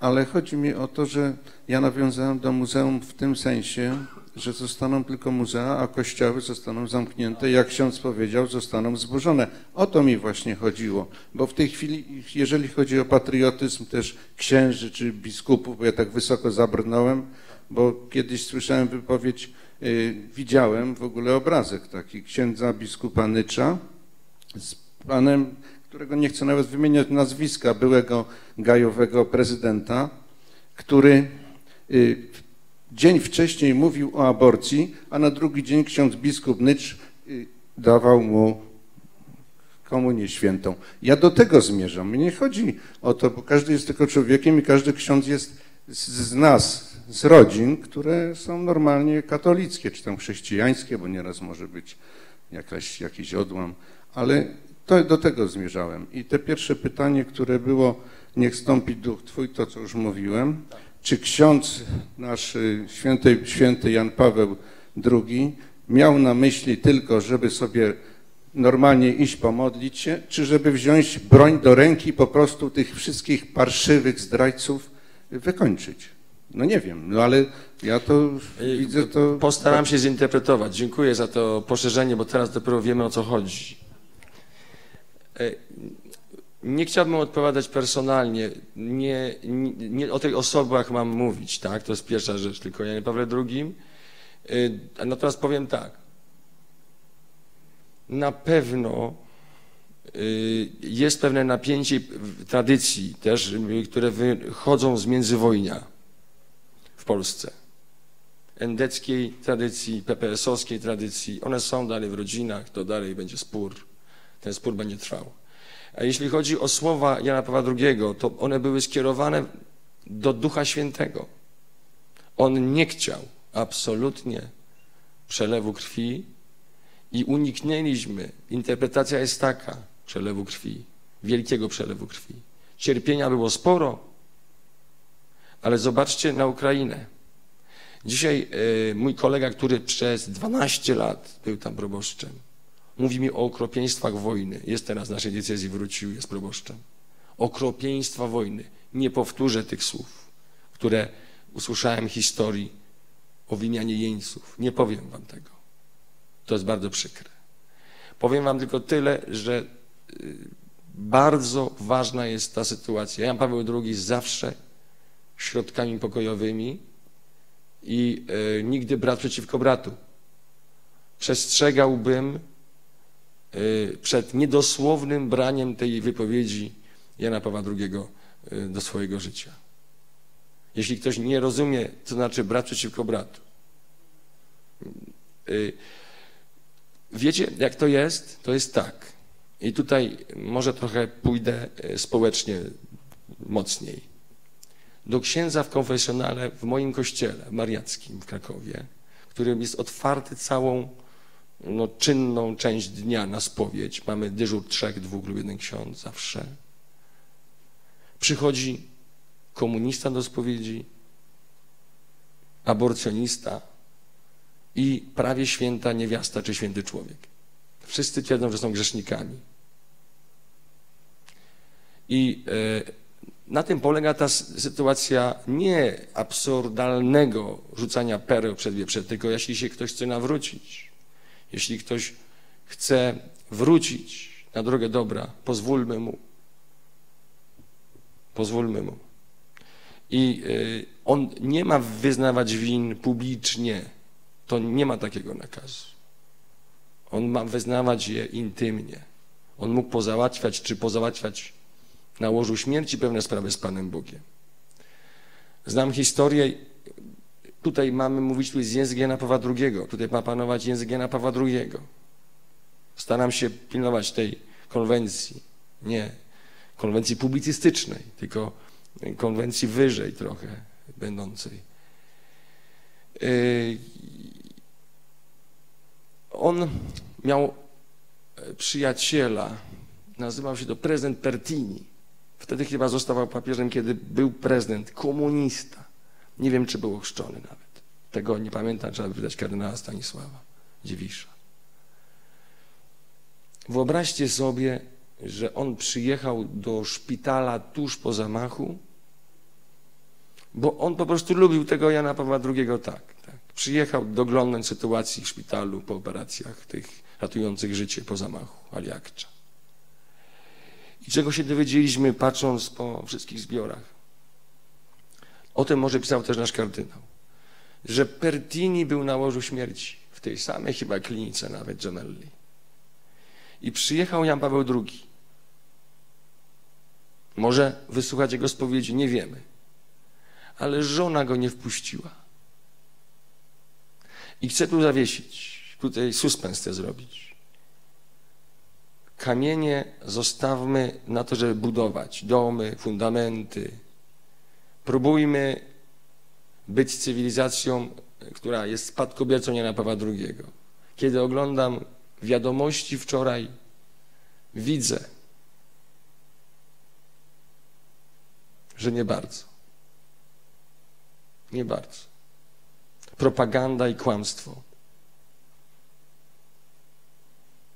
Z każdej strony. I oni przyjdą kiedyś się wyspowiadać, jeden, drugi, trzeci. Ale używanie.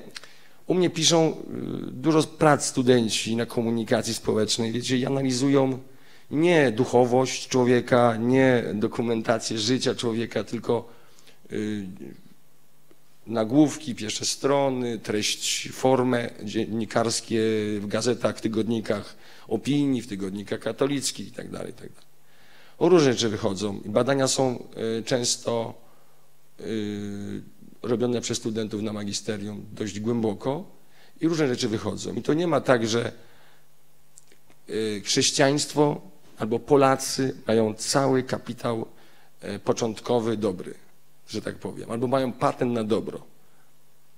Jan Paweł II tak y, też absolutnie tego nie kładł. Y, nie opisywał tak świata. Dużo zależy od tego, jak opisujemy świat, moi kochani. Ja mogę opisać świat tak, że wszyscy będziecie znerwowani i mogę opisać tak, że wszyscy będziecie w miarę zadowoleni i pokojowo pójdziecie do domu, nikomu krzywdy nie robiąc. Dzisiaj techniki manipulacji są podobne jak w Grecji. Retoryka była dobrą nauką już polityczną. I techniki manipulacji przeszły do Machiavellego. Potem świetnie rozwijali je w dwóch totalitaryzmach e, komunizmie i nazizmie, też w faszyzmie włoskim. Techniki komunikacji możemy wykorzystać w wieloaspektowości. My staraliśmy się w Muzeum Jana Pawła II pokazać osobę i jej duchowość. wydaje mi się, że e, zdecydowanie e, więcej można zrobić dobrego tym niż różnymi skutkami propagandy, której ocena przyjdzie po jakimś czasie. Kolejne pytanie. Ja mam jedno pytanie. Chciałem się zapytać, tu właśnie w Częstochowie na Jasnej Górze podczas pierwszej pielgrzymki Jan Paweł II powiedział takie słowa. Tutaj zawsze byliśmy wolni. wolni. Chciałem się zapytać, jakie znaczenie te słowa wypowiedziane podczas tej pielgrzymki miały dla dalszego pielgrzymowania po Polsce w 79 roku i dla dalszych losów Polski. Dziękuję. Wiecie, wtedy miałem 10 lat. 10 lat miałem wtedy. Powiem tak. Często y, papież bardzo kochał historię. Świetnie ją znał. I kochał historię Polski. y, I wiedział dobrze, że na Jasnej Górze zawsze to trochę długo powiedziawszy, ale tam Polacy czuli się wolni, bo chodzi o potop szwedzki, prawda? Niezdobyta twierdza. Nie, ten obraz tknięty, ale jednak dawało nam, e, to, tam przestrzeń wolności istniała w Częstochowie wybitna. Wiemy, że Jan Kaźmierz, prawda, przyrzekał we Lwowie, ślubował we Lwowie, ale to tutaj w Częstochowie macie skarb. Ja powiem szczerze, że nie przyznałem się tutaj dyrekcji, ale ja byłem przed naszym spotkaniem tam u Matki Bożej Częstochowskiej. Trudno było nie być.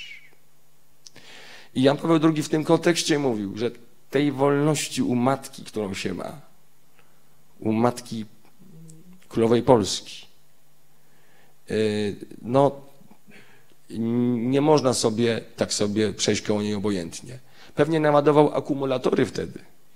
Modlił się długo, o ile pamiętam. O ile pamiętam z przekazów późniejszych. I nabierał sił do tego, żeby powiedzieć nam potem słynne słowa gdzie indziej. Dla niego to były takie rekolekcje w drodze, ta pierwsza pielgrzymka. A długo nie wiedzieli y, decydenci ówcześni, jak osłabić tą pielgrzymkę. I była reakcja, powiem, pogańska, stan wojenny. Stan wojenny był reakcją na tę pielgrzymkę, jedną z wielkich reakcji. Bo kiedy analizowałem kiedyś y, właśnie komunikacyjne tamten czas, y, to tam padały słowa właśnie Solidarność. Już niedługo, już niedługo miała być organizowana Solidarność jako związek zawodowy, ale one padały w, w czasie tej pielgrzymki. I y, no to było profetyczne. Ale reakcja była też bardzo, no, że tak powiem, trudna do przewidziana, do przewidzenia. Papież się bardzo temu niepokoił, co się stało podczas stanu wojennego. Myślano, ale, ale też może to omodlano, omadlano, żeby się uspokoiło. Myślano, że będzie zupełnie gorzej. Stan wojenny nie pochłonął aż tak wielu ofiar. Pochłonął wielkich, pewnie bohaterskich e, ludzi, kopalnia Wujek, ale Y, ksiądz Popiełuszko, ale te daniny z krwi były cenne, ale nie tysięczne, wielotysięczne, czy, czy więcej nie chcę nawet mówić. Kolejne pytanie. Księże Iwnułacie, ja jeszcze tak dopowiem do tego, to nie tylko potop szwedzki, ale okres okupacji również w 1943 roku. Przecież papież odnowił śluby jasnogórskie na Jasnej Górze kiedy już był w seminarium duchownym. A moje pytanie jest takie, kiedy poznaję coraz bliżej życie Jana Pawła II, coraz więcej się w nie zagłębiam, zauważam, nie wiem czy dobrze myślę, proszę o sprostowanie, jeżeli nie, że papież z osobami, z którymi się spotykał, wywierały one na niego duży wpływ. Taką osobą, która wywarła bardzo duży wpływ, był biskup Pelczar. Stąd może i zabranie właśnie sióstr sercanek z Krakowa na Watykan. E, Dlaczego biskup Pelczar, i tak mi się przypomniał właśnie on, i dziękuję księdzu Infoatowi za to przypomnienie, że papież każdego obmadlał, o każdym myślał, bo właśnie to powiedział e, Jan Paweł II, mówiąc o osobie biskupa Pelczara, że to jest człowiek, który każdą chwilę wykorzystywał na modlitwę. Czy dobrze myślę, że z każdą osobą, z którą się spotykał, wybierał to, co było najcenniejsze w tej osobie i jak gdyby też przenosił na swoje życie? No, takim znawcą y, osobowości, która, y, która żyje obok mnie, no, nie jestem. Tak? Ja nie byłem, y, nie podpatrywałem Ojca Świętego na co dzień. To stwierdzam y, radykalnie, że trudno mi tak powiedzieć, co jak było między świętym Sebastianem, Sebastianem Józefem Sebastianem Pelczarem, a y, naszym świętym papieżem. Powiem jedno, że sercanki wywierały na Jana Pawła II wpływ bardzo pozytywny. Karmiły go, sprasowały mu sutannę, pisały po francusku korespondencję. E, W końcowej fazie życia to one go opiekowały. I tu był obecny Pelczar. I ja bym do tego tak podszedł, syntetyzując nieco. Y, Zwracam Wam uwagę na to, że też święty rzeczywiście y, przyciąga świętych. To znaczy, tak, święty nie powstaje y, na bezludnej wyspie. Nie, nie, nabywa tych cnót właśnie poprzez lekturę innych życiorysów. Ale to, co u wielkiego e, biskupa przemyskiego było, to było właśnie też umiłowanie nauki i wykorzystanie czasu.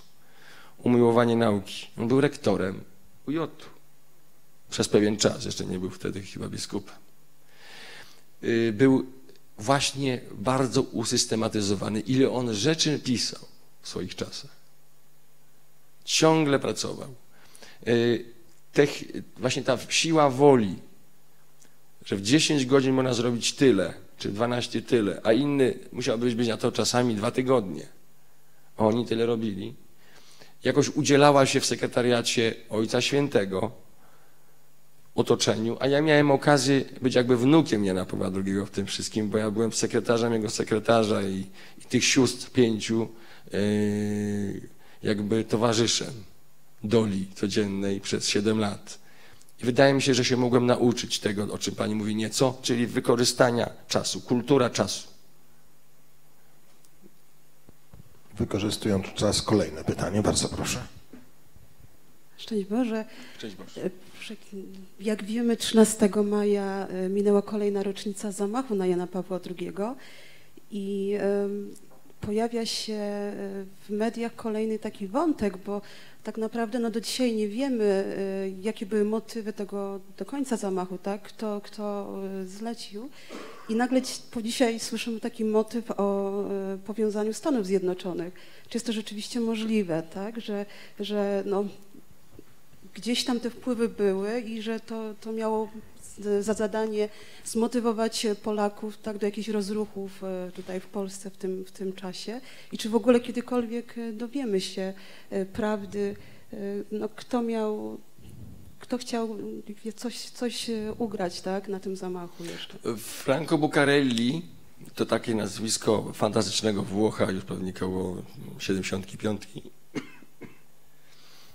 To był watykanista, który ostatnio też zajmował się tą sprawą. Wielu nam pomógł w muzeum. On znalazł, gdzie Włosi przechowywali i wydobył z kazamatów pistolet Aliakczy, które sprowadziliśmy na trzy lata do Wadowic. To była dramatyczna sytuacja i dlatego coś wiem na ten temat, co pani e, jakby zaznaczyła. Dobre służby specjalne musiały brać w tym udział na pewno. Ali Akcza był wynajęty, to był zawodowy killer. To wszyscy wiedzą. Super zawodowiec. Było ich pewnie czwórka na placu w tym dniu. Ale inni byli obserwatorami, byli tymi, którzy jakby pomagają terroryście, tak? Obserwują go, żeby się nie nie zgubił, żeby się nie wymigał. Papież przeżył cudownie. To jest jakby tajemnica, którą rozstrzygamy w pewnym momencie, kiedy zwiedzamy Muzeum w Wadowicach.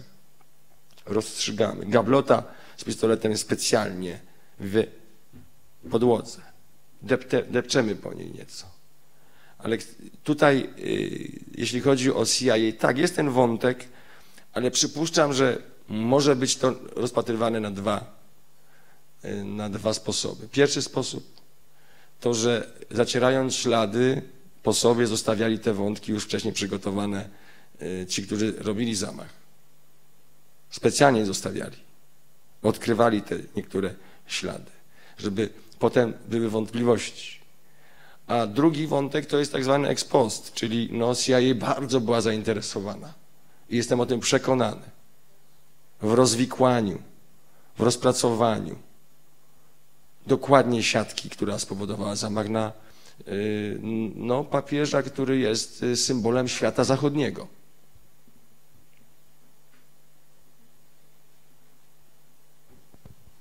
I co, i znowu żyje? Dobrze. E... Kochany gościu, wszyscy przyjaciele naszego muzeum dostają medal naszego muzeum, monet i medali Jana Pawła II i twój były szef, ksiądz Stanisław Ciągle Dziwisz. Właśnie, taki bliski. Dostał taki zestaw. Dzisiaj ty go ode mnie otrzymujesz.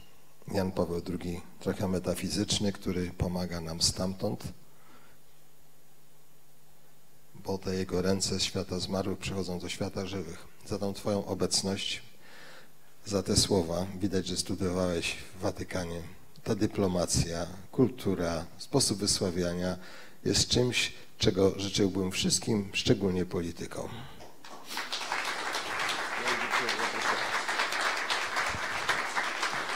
Dziękuję za zaproszenie, bardzo sobie to cenię i e, w kuluarach podpowiadałem ewentualnie jeszcze e, dwa następne rozdziały, może się uda ich zaprosić. Mam nadzieję, osoby. że jak się Niech powołam- będą niespodziankami dla Państwa, ale Nie naprawdę. Ale y, wydaje mi się, że oni y, jeszcze więcej mogą powiedzieć niż, niż ja sam, bo miałem inny udział y, na innym etapie. Państwo się wstydzą, a ja chciałem zapytać, Światowe Dni Młodzieży tuż, tuż. Kardynał Dziwisz skończył wiek, który upoważnia go do zasiądzenia w fotelu bujanym i nareszcie odpoczynku. Kto będzie następcą? Na pewno nie ja. Rozumiem. Rozumiem. Y, No ale życzymy To papież, papież jeszcze tego nie wie, kochani, tak naprawdę. Y, Zapewne papież jeszcze tego nie wie, kto będzie następcą. Bardzo, bardzo dziękuję. Proszę bardzo. Chodzi o to, żeby była transmisja pełna. Szczęść, szczęść Boże. Cześć Boże. Księże Infułacie, e, czy można skorzystać z księdza obecności i zapytać o stan zdrowia księdza kardynała Machalskiego? No jest y, w niezłej pewnie formie. Ostatnio y, bywszy w Rzymie na takim kongresie dostałem telefon od domownika księdza kardynała, który często tam do niego zachodzi, częściej niż ja przynajmniej, do Albertynek. On tam teraz mieszka u Albertynek w klasztorze, ma taki śliczny domek, ma swoją asystentkę, siostrę. I zadzwonili do mnie prosząc o to, żebym kupił materiał na sutannę. Na nową sutannę. To dobrze świadczy o zdrowiu księdza kardynała, kiedy y, krawca zatrudni i musi, bo sobie szyje nową Camerelli. sutannę. Troszkę nawet chyba przybrał na wadze, stąd jest potrzebny dość szybki, szybki krawiec. Tak. Jeszcze jedno pytanie. Jeszcze ja mam pytanie. Y, Ksiądz tak pięknie opowiadał o muzeum e, w Wad- w Wadowicach. Y, Ja chciałam spytać, czy było jakieś takie szczególne wydarzenie, które w czasie organizowania właśnie tego mm, muzeum było księdzu takie szczególnie ważne, cenne? To ciekawe, co pani zadała pytanie. O, nie, doskonałe pytanie. Wiecie co? Otoczenie bezpośrednie Jana Pawła II mówiło, że jeśli było coś ważnego, dobrego, to papież cierpiał. I to było to wydarzenie, cierpienie. Yy, całego zespołu. Ale yy, to miało wiele aspektów, tak? I, i, i pewnie dalej trochę ma, ale yy, no nie było łatwe zrobienie tego muzeum, odnowienie muzeum, tak? Nie ma się co skarżyć też na swój los. Zrobiliśmy fajne dzieło, yy, bardzo znakomite. Wydaje mi się, że przetrwa yy, to pokolenie. I yy, jednak kosztowało nas to no, łyżkę poważną cierpienia. To, y, taka jest konstatacja moja. No dobrze, I to sko- było to wydarzenie, które było ciągiem pewnym. Bez cierpienia Jana Pawła II nie dalibyśmy rady tego zrobić, yy, od niego jakby zapożyczonego. No dało nam szkołę to muzeum. To ja mam ostatnie pytanie. Jak już mówimy o muzeum, to proszę powiedzieć, co ksiądz myśli o naszym muzeum. Ja, ja nie mogę za dużo myśleć, bo już myślałem, jak to otwieraliśmy to muzeum. Tak sobie pomyślałem, że mam ten dług do spłacenia. Yy, Bo tutaj byliśmy, zostaliśmy pięknie przyjęci. Ksiądz kardynał tutaj pięknie yy, był przez nas podjęty i z podziwem patrzyliśmy na to, co zrobiliście. Ciągle się rozwijacie, szukacie jeszcze śladów. Macie tyle ciekawych pięknych y, pomysłów, y, interpretacji. To jest y, wielka sprawa. Rodzina dyrektorska zrobiła rzecz wspaniałą. I y, myślę, że to pytanie dobrze, że pada na koniec. Nie chciałem ich chwalić, A nie chcemy laudacji. ale powiem jedno. Takich zbiorów jak ten nie ma. Są mniejsze, pojedyncze, ale zazdrośnie szczerzone przez ludzi. Gdzieś pokazane rąbkiem w Nowym Targu, gdzieś w innym miejscu, u sercanek. Wydaje mi się, że to, co zrobiła dyrekcja, właściciele de facto tego muzeum, to jest coś niebywałego. I gratuluję im i gratuluję e, otwartości, e, wspaniałych e, pomysłów nowych i życzę odkrywania jeszcze jakichś numizmatów, które powinny was uwiegacić, jakichś perełek pontyfikatu gdzieś tam e, Ja tu na obrzeżach świata. Liczę na po prostu ojca. E, Nie mamy, w. Muzeum Wadowickim nie mieliśmy nigdy tego e, takiego, takiego napięcia, żeby zbierać numizmaty. My Tak, też nie mamy napięcia. ale, ale tutaj powinniście mieć. Nie, to są, słuchajcie, inne rzeczy. Bardzo dziękuję. E, Nie wiem, czy Państwo wiecie, ale ja dosłownie dwa dni temu przejechałem z, z Lwowa. Czy echa tej wizyty nasze już doszły do Krakowa? Tak, tak, doszły, ale ja, to, ja To miałem nie z pierwszej ręki. Rozumiem, rozumiem. Ja, ja miałem z pierwszej ręki jecha tutaj. Dobrze, dobrze, bardzo serdecznie dziękuję. Doszły. Bóg zapłać.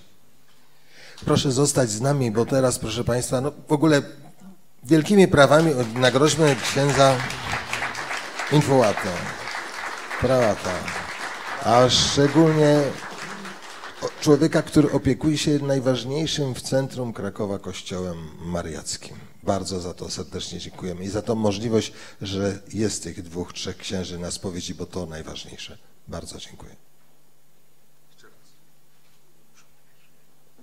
Kochani, teraz będzie ta, ta część artystyczna. Zapraszam tutaj na scenę zespół, który będzie sobie e, wchodzić. Posadźmy w pierwszym rzędzie rodziną. A my jeszcze chwilę mamy teraz czasu. Wszystkich Państwa, którzy nas oglądają przez internet, zapraszamy na pięciominutową przerwę. Można wyjść e, na kawkę, przynieść sobie i za chwilę zacznie się tutaj dziać piękna rzecz. Będzie kwartet i prowadząca pani Wanda, która zaraz na tym instrumencie będzie towarzyszyć naszemu zespołowi. To jest taki okrojony chór pochodnia. Pięknie się nazywają. Wszystko o tym powiem.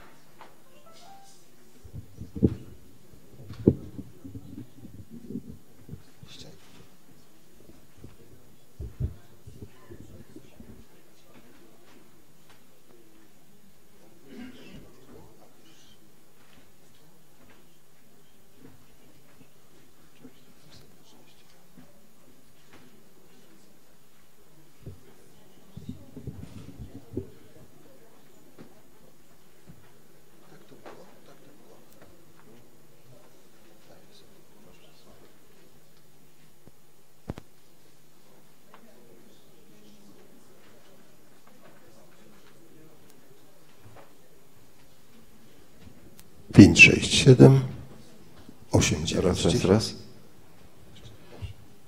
6, 7, 8, 9, 10.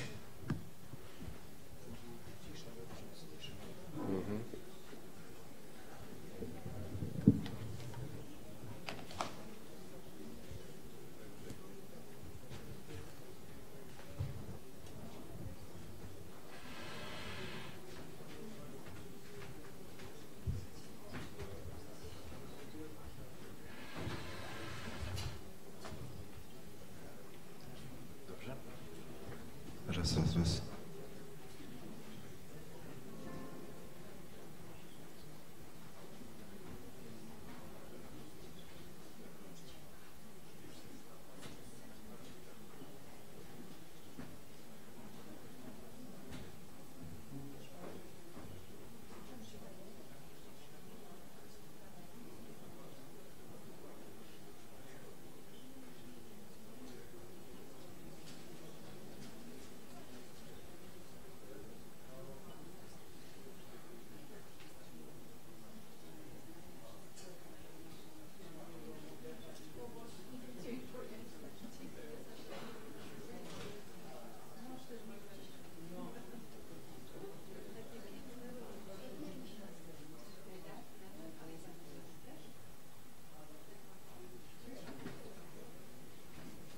Jak mogę prosić piano, sprawdzimy, czy jest wszystko ok?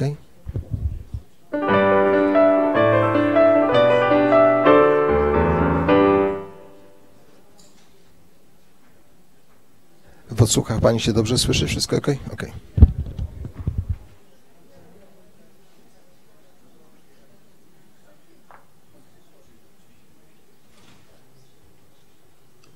Możemy wszystkich panów prosić na scenę.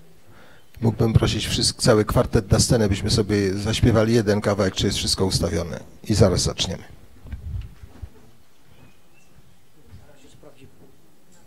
Raz, dwa, raz, dwa. Raz, dwa, trzy, cztery. Okej. Raz, dwa, trzy, cztery, raz, raz, raz. Raz, dwa, trzy, cztery. Jeden, dwa, trzy, cztery. Raz, odsłuchach raz, wszystkie, raz. wszyscy Jeden, dwa, się trzy, słyszą cztery, dobrze? jeden. Piano jeszcze sprawdźcie, jak razem z pianem. Raz, dwa.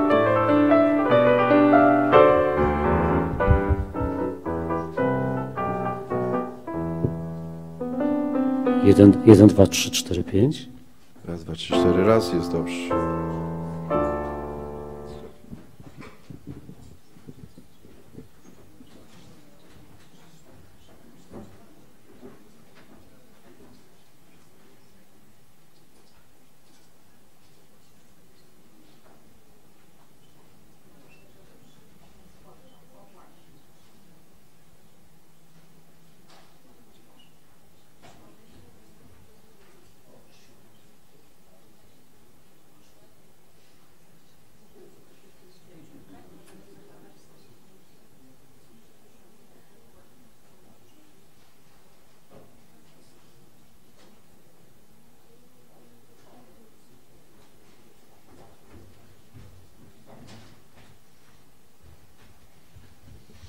Szanowni Państwo, proszę już usiąść i zapowiem teraz coś wyjątkowego.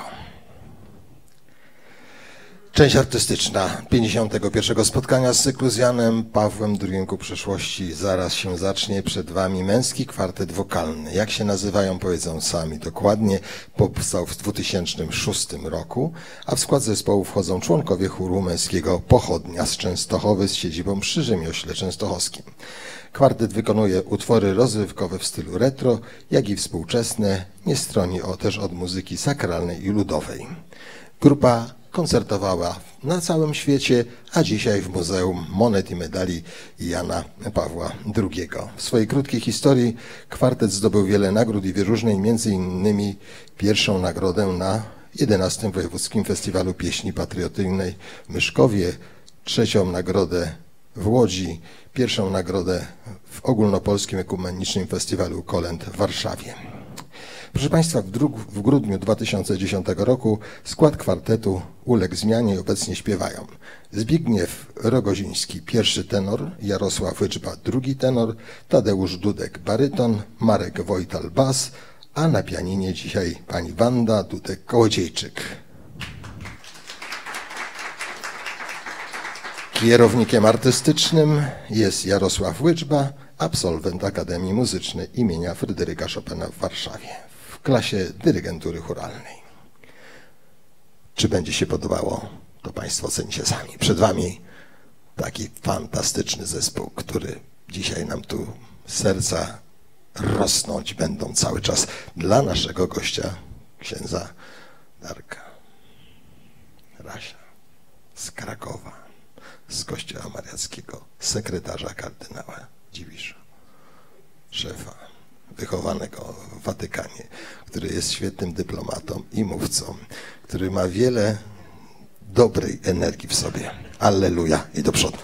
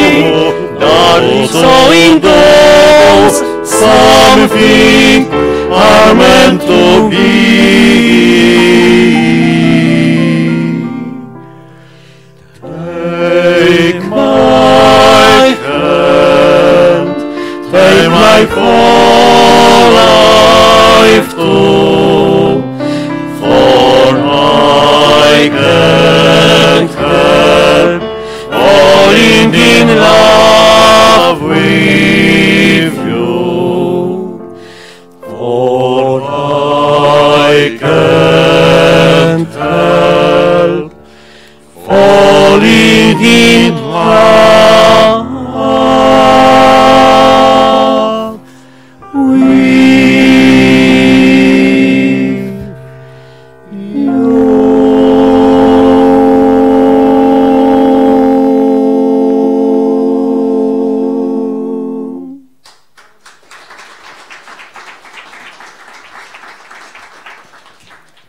wieczór Państwu. Dobry wieczór. Czy tak będzie ładnie dalej? Ja nazywam się Jarek Łyczba i w imieniu mojej koleżanki i kolegów chciałem Państwa w naszym imieniu powitać i zaprosić do wysłuchania recitalu, piosenek, utworów, nie wiem jak będziemy je nazywać, nie ma to chyba znaczenia nawet. W tych niesamowitych murach i w tym niesamowitym otoczeniu będziemy chcieli Państwu ten wieczór w jakiś sposób umilić. Przywitaliśmy się z Państwem utworem z 1961 roku. E, utwór, który został napisany dla Elvisa Presleya, wykonany przez Elvisa Presleya. E, Była to piosenka, y, główny motyw z filmu Blue Hawaii, czyli Blue Hawaii. Tak naprawdę utwór, muzyka powstała znacznie, znacznie wcześniej, bo ponad 150 lat wcześniej i na kanwie utworu klasycznego powstała ta słynna, ta, ta słynna melodia.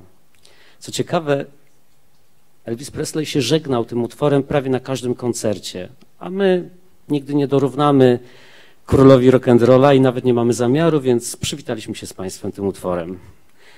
Następny utwór, który chcemy Państwu przedstawić, pochodzi już y, z, na, z czasów nam dużo bliższych. Powstał w 1984 roku. Napisany został i wykonywany na początku był przez barda, kompozytora, pieśniarza pochodzącego z Kanady. I co ciekawe, utwór, który w 1984 roku, kiedy został nagrany, a tak naprawdę za bardzo studia nie chciały go nagrać, nie zdobył popularności wielkiej. Musiało minąć kilka ładnych lat i któryś z coverów na... My chcemy Państwu wykonać ten utwór w, tłumaczeniu Macieja Zębatego, w opracowaniu y, Jonathana Wickleya na kwartet męski, a tytuł tego utworu to Halleluja.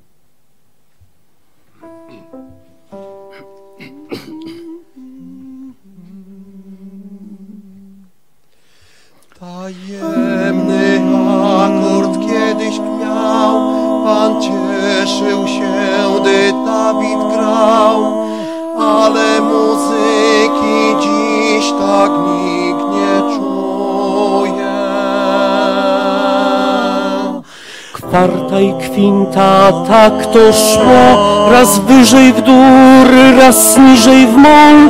Nieszczęsny król ułożył, Alleluja, Alleluja, Alleluja, Alleluja, Alleluja.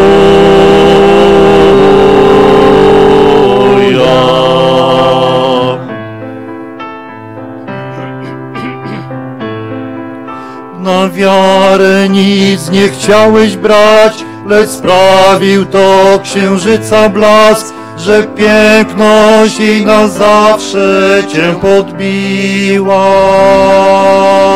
Kuchenne krzesło tronem twym ostrzygła cię, już nie masz sił i z gardła ci wydarła. Alleluja! Alleluja, Alleluja, Alleluja, Alleluja.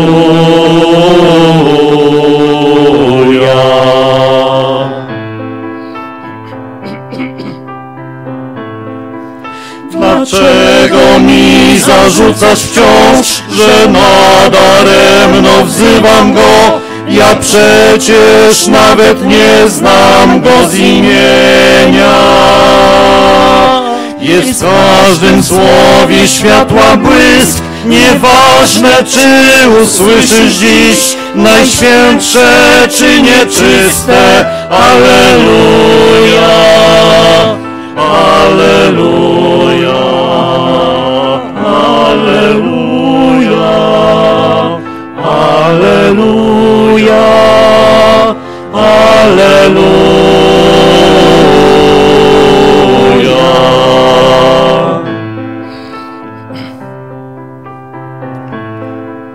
Tak się, Tak się starałem, ale cóż, dotykam tylko zamiast czuć, lecz mówię prawdę, nie chcę was oszukać. I chociaż wszystko poszło źle, przed Panem pieśni stawię się, na ustach mając tylko Alleluja, Alleluia, Alleluia, Alleluia, Alleluia, Alleluia, Alleluia, Alleluia, Alleluia.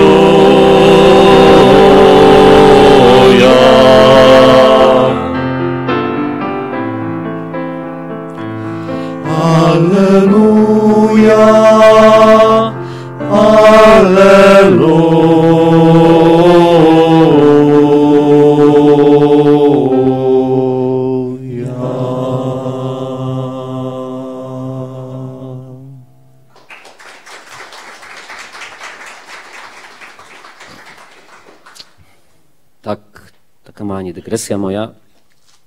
Ja jestem dyrektorem, nie, kierownikiem. Zresztą nieważny tytuł tutaj tak naprawdę. Ja odpowiadam za cały ten repertuar nasz i za te utwory. Ja to wybierałem. Jeżeli będziecie mieli Państwo jakieś pretensje, to proszę do mnie, nie do tych moich kolegów. To ja za, tym stoję. Ktoś musi być winien, nie? Następny utwór, a w ogóle nie powiedziałem, jak ułożyłem ten repertuar nasz jak chcę, jak, co chcemy Państwu dzisiaj pokazać i zaprezentować. Pomysł mój był taki, zresztą nie będę tutaj gołosłowny, jeśli powiem, że pan dyrektor, pan właściciel, pan Krzysztof miał też w tym jakiś udział i prosił, żebyśmy Państwa za bardzo nie zanudzali utworami. W związku z tym wybrałem repertuar z naszego bardzo szerokiego repertuaru. Wybrałem utwory, które mają być lekkie, łatwe i przyjemne i skupiliśmy się raczej na piosenkach i standardach muzyki rozrywkowej. Tak to będzie cały nasz dzisiejszy występ wyglądał. A żeby nie być gołosłownym, to przejdę już do następnego utworu, bo zawsze mi mówią, żebym za dużo nie gadał. Następny utwór. Jeśli powiem Państwu, że autorem jest Claude François, to pewnie Państwu niewiele to powie. Jeśli powiem, że tekst napisał Jacques Revaux, to też niewiele mówi. Natomiast jeśli podpowiem, że wersję angielską tego utworu tekst napisał Polanka, to już jesteśmy prawie blisko. Najbardziej znane wykonanie tego utworu to zapewne przez Franka Sinatrę. Natomiast my dzisiaj chcemy wykonać utwór pod tytułem My Way, z tu w tłumaczeniu Wojciecha Młynarskiego, czyli Idź swoją drogą. Zapraszam.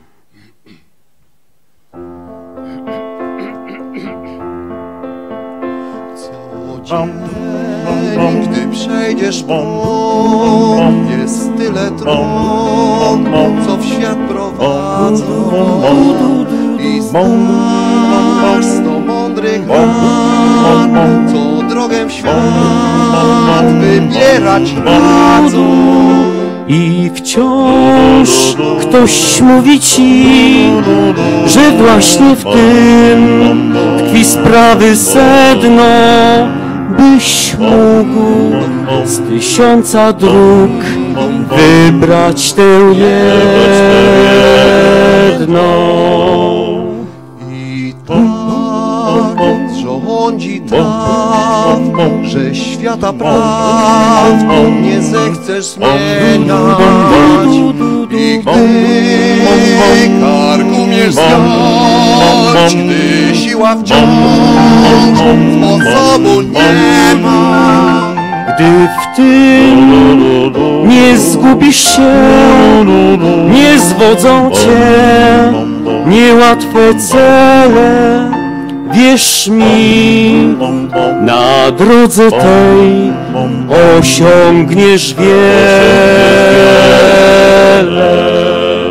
Znajdziesz na tej jednej z i kobiet śmiech i farsy chłód, choćby cię klął świat cały miał, lecz oczy nikt nie będzie śmiał, łatwo żyć, chcesz żyć to śmiało idź. Idź taką drogą, taką drogą.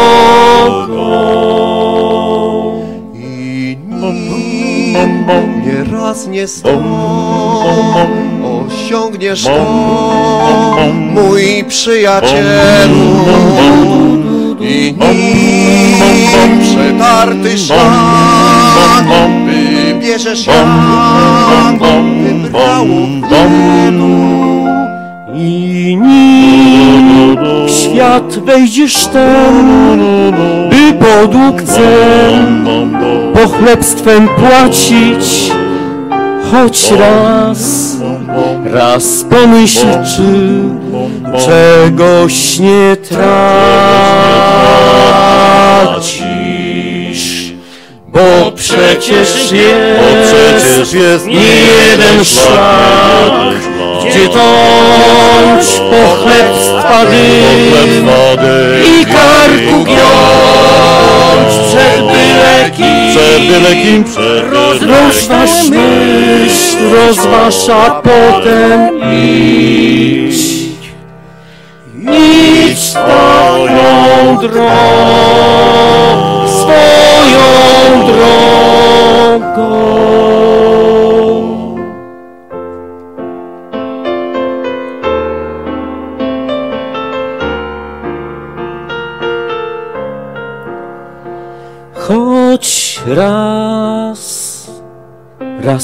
Raz pomyśl, czy czegoś nie tracisz.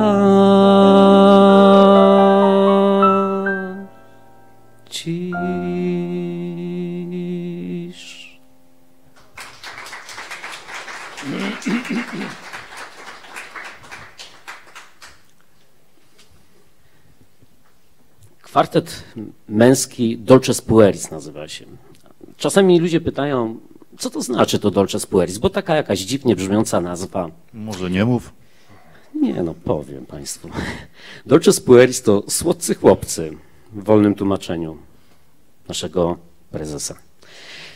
I oprócz takiej klasyki muzyki rozrywkowej, którą Państwu zaprezentowaliśmy, jeszcze będziemy chcieli coś wykonać, to niektórzy nas przy, przypisują do, i porównują do takiego chóru rewerersów, takich czterech gości, którzy coś tam sobie na scenie śpiewają i, i, i takie mają dziwne brzmienie.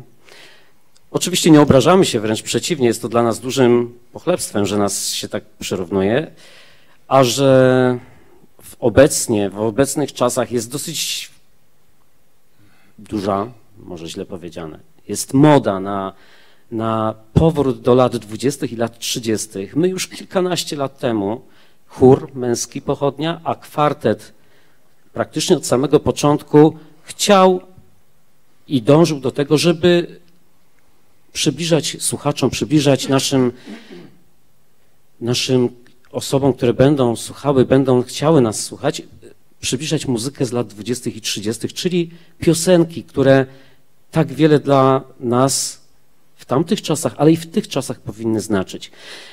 Zaczniemy nasz występ, jeśli chodzi o lata 20. i 30., od standardu. Hmm. Standard to chyba nawet za mało powiedziane. Otóż autorem utworu, który wykonamy za chwilę, jest Jerzy Petersburski. Miałem przyjemność poznać na studiach jego syna i wiele opowiadał o ojcu. Jerzy Petersburski to tak naprawdę nie do końca doceniany chyba kompozytor i twórca w Polsce, ponieważ y, owszem, tworzył piosenki, tworzył nawet y, do y, musicali, do muzykę, do muzykę do wodewilów w, lata, w, okresie międzywojennym, ale tak naprawdę w Polsce do filmów hollywoodzkich wrócił pod koniec życia do Polski i, i tutaj zmarł, tu jest pochowany w Warszawie. Wykonamy utwór chyba najsłynniejszy Jerzego Petersburskiego. Zachęcam Państwa, jeśli tylko macie życzenie, do włączenia się z nami do śpiewu, zwłaszcza w refrenie, będzie nam bardzo miło. Tytuł Tango Milonga.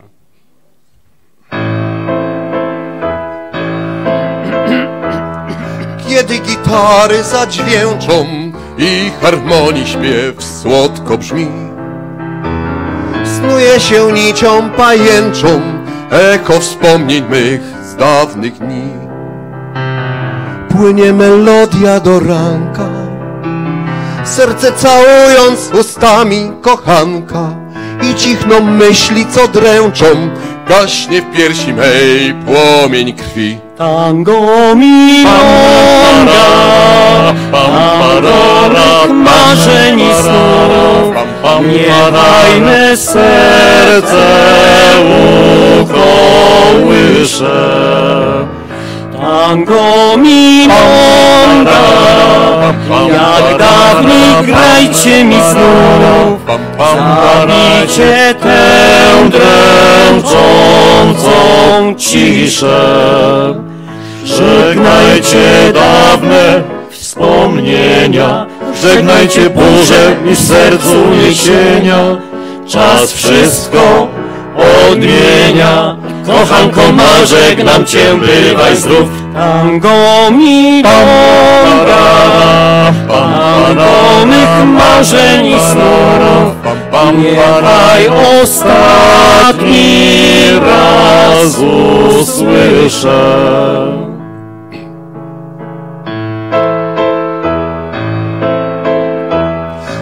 Tylko w piosence i w winie prawda życia jest, życia blask. Szalona noc w Argentynie zwolna bierze nas do swych łask. Czasem coś w sercu zapłacze, ozwą się dawne, obłędne rozpacze i wszystko zgaśnie i minie, nim z melodią tą stanie brzask. Tango mi tango mych marzeń i snów, niechaj me serce ukołysze. Tango mi jak dawniej krajcie mi znów, zabijcie tę dręczącą ciszę. Żegnajcie dawne wspomnienia, żegnajcie burze i sercu niesienia. Czas wszystko odmienia, kochanko ma, żegnam cię, bywaj zdrów. Tango milonga, tango mych marzeń i snów, niechaj ostatni raz usłyszę. Tango milonga, tango mych marzeń i snów, niechaj ostatni raz usłyszę.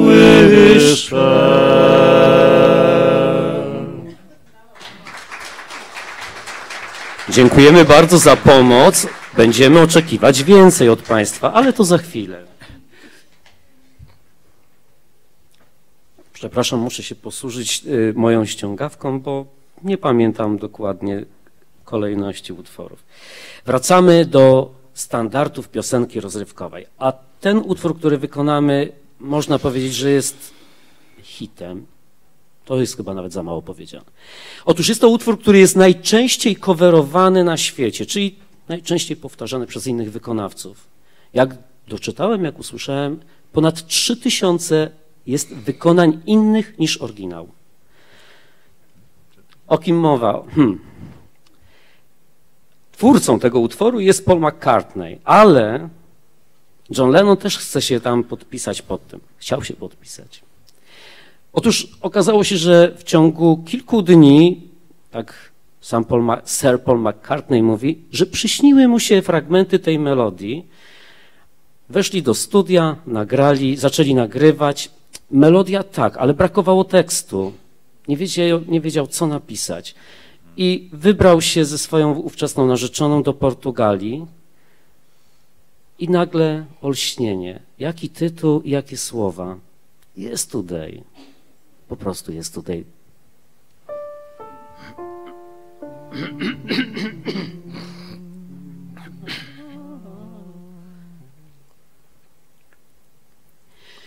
Yesterday,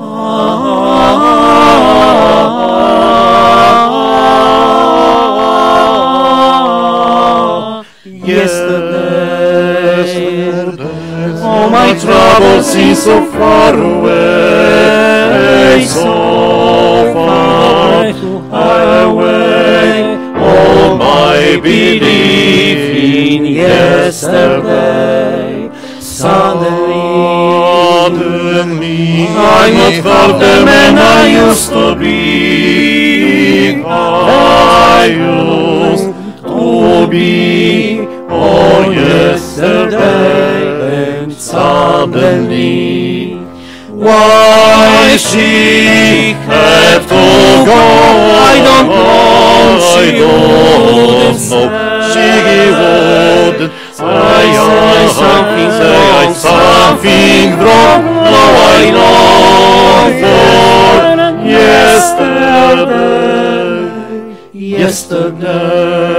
Love was love, it was such an easy game to play, and now I hide away. all my belief in yesterday.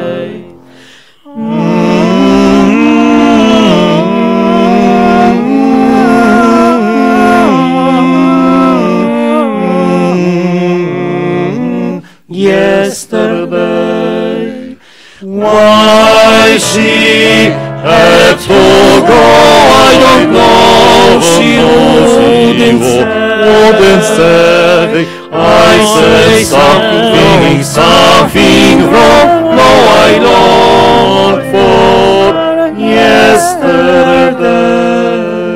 Yesterday, was love, was such an easy game to play, and now I hide away all my belief in yesterday.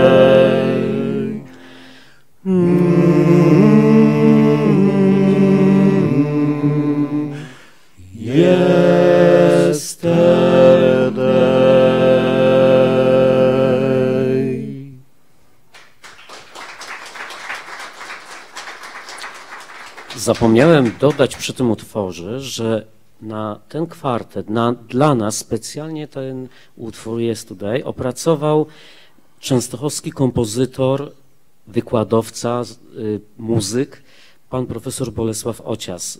Zresztą kilka innych utworów również dla nas on opracowywał i postaram się wspomnieć o nim, bo już jest bardzo wiekową osobą i dla nas bardzo cenną. Jesteśmy jeszcze w tym kręgu utworów bardzo, bardzo klasycznych i chcemy na chwilkę jeszcze raz powrócić do wykonawcy, którego już utwór wykonywaliśmy, a mianowicie z 1966 roku pochodzi utwór Strangers in the Night.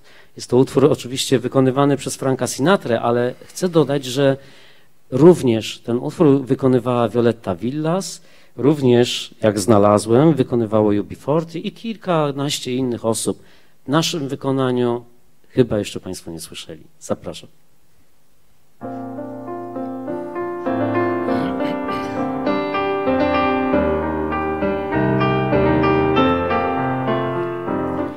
Sami w taką noc, dookoła ciemno, czuję dziwną moc. Gdy jesteś ze mną, sami w taką noc i tylko milion gwiazd.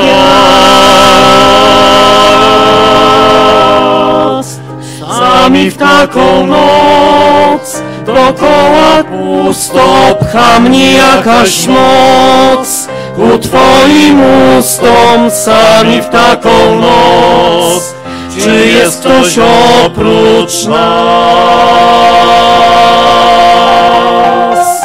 Sami w taką noc i milion gwiazd na niebie niezbadana moc.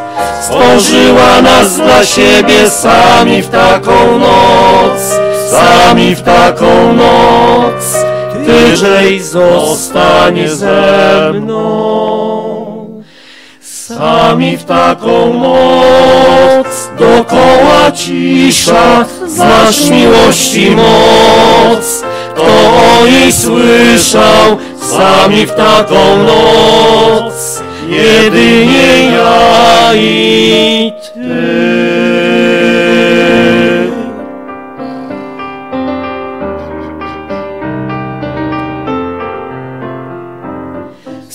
Strangers in the night, and chancing glances wandering in the night.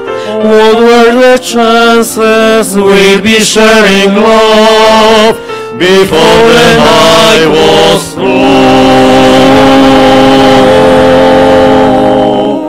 Something in your eyes was so inviting, something in your smile was so exciting, something in my heart told me I must have you.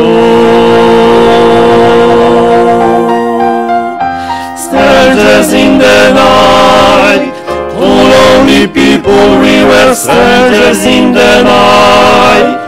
Until the moment that we met first first fellow, little did we know, love was just a glance away, a warm embracing glance away.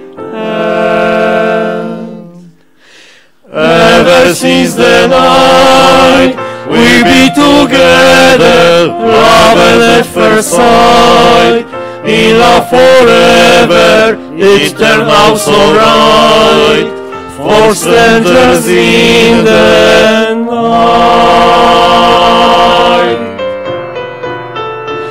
Ever since the night we've been together, love the first sight, in love forever, it turned out so right, for strangers in the night.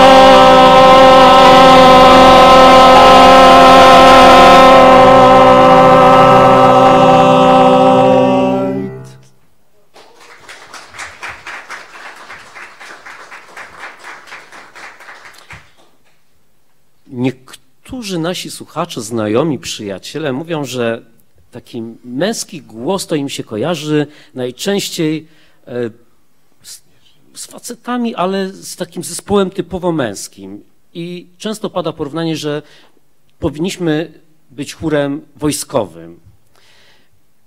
I powiem Państwu szczerze, że mamy w repertuarze kilka, kilkanaście utworów wojskowych, a chcieliśmy dzisiaj, nie wiem czy w trakcie tego już długiego spotkania z taką znamienitą postacią jak tutaj ksiądz prałat, czy padła ta data i czy padło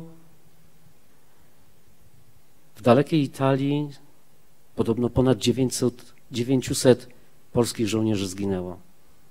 W nocy z 17 na 18 maja 1944 roku, muszę spojrzeć, przepraszam, Alfred Schutz napisał do tekstu Feliksa y, Kaczo, Kaczorskiego utwór, który tak naprawdę przeszedł do historii i jest ściśle związany właśnie z tym, z tym wydarzeniem. Chcieliśmy, może będzie to tak troszkę nostalgicznie, ale, ale przypomnijmy sobie, bo to chyba jest taka dziwna zbieżność i, i taki właśnie moment. Chcemy dla Państwa ten jeden utwór właśnie zaśpiewać. Czerwone maki.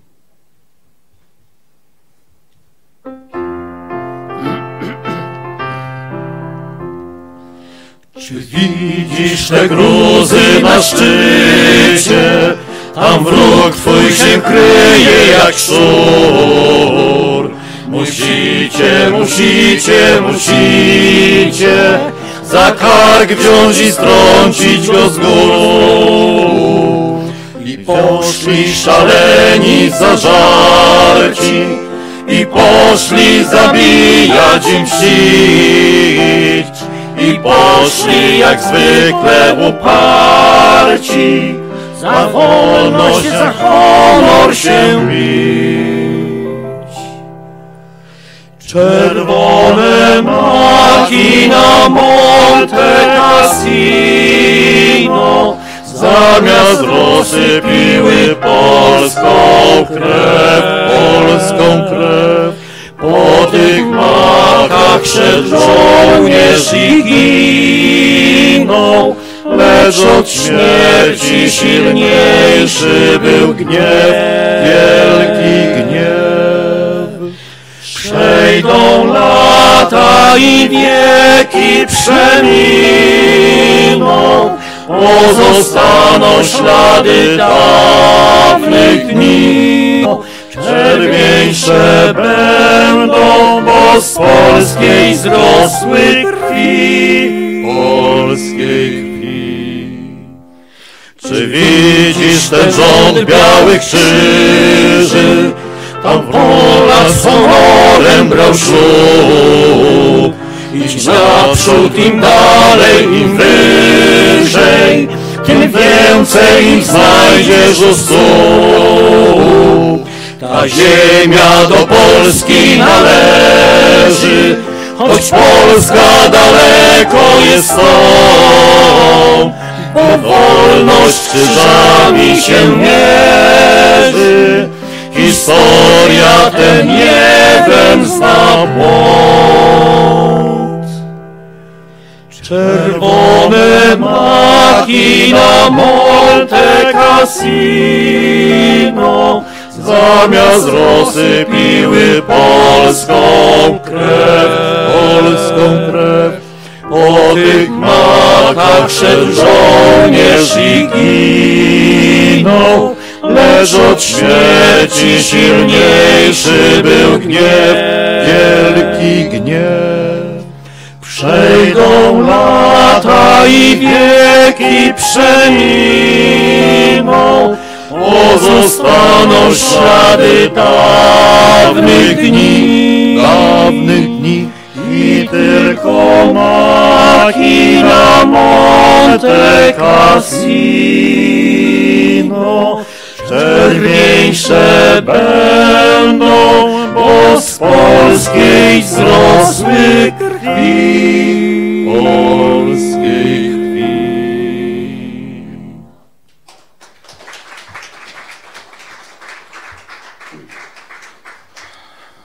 To tak nostalgicznie i chyba, chyba należało dzisiaj to zaśpiewać. A jak jesteśmy już w kręgu tych utworów e, wojskowych, to teraz dwa utwory, które też troszkę wojskowe, ale tak naprawdę utwory e, związane z legionami, utwory związane z ułanami i o tym będą, będzie głównie tekst. Pierwszy tytuł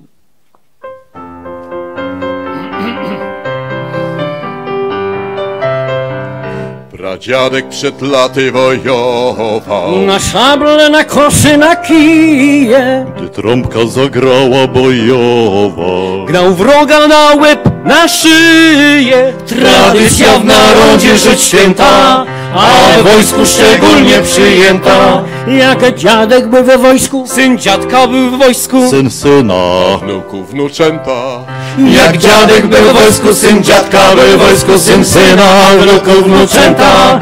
Jak dziadek był w wojsku, syn dziadka był w wojsku, syn syna, wnuków, wnuczęta. Pradziadka syn, czyli mój dziadek. Miał wąsy od ucha do ucha. I nosił ogromną buławę. Ordery sięgały mu brzucha, tradycja w narodzie rzecz święta, a w wojsku szczególnie przyjęta. Jak dziadek był w wojsku, syn dziadka był w wojsku, Syn syna. A wnuków, wnuczęta. jak dziadek był w wojsku, syn dziadka był w wojsku, syn syna, a wnuków, wnuczęta. Jak dziadek był w wojsku, syn dziadka był w wojsku, syn syna, a wnuków, wnuczęta.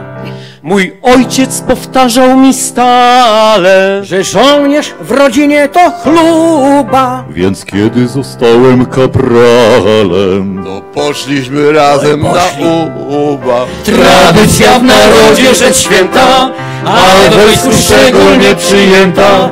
Jak dziadek był w wojsku, syn dziadka był w wojsku. syn syna. Wnuków, wnuczęta. Jak dziadek był w wojsku, syn dziadka był w wojsku, syn syna, wnuków, wnuczęta. Jak dziadek był w wojsku, syn dziadka był w wojsku, syn syna, wnuków, wnuczęta. Dziś żonę ma piękną i dzieci. Oj, piękna. Lecz czarna wybiła godzina. Bo córki mam same jak leci. A chciałby dochować się syna. Tradycja w narodzie rzecz święta, a we wojsku szczególnie przyjęta. Jak dziadek miał syna, tak ojciec ma syna. A on ma dziś same dziewczęta. Jak dziadek miał syna, tak ojciec ma syna, a on ma dziś same dziewczęta. Jak dziadek miał syna, tak ojciec ma syna, a on ma dziś same dziewczęta.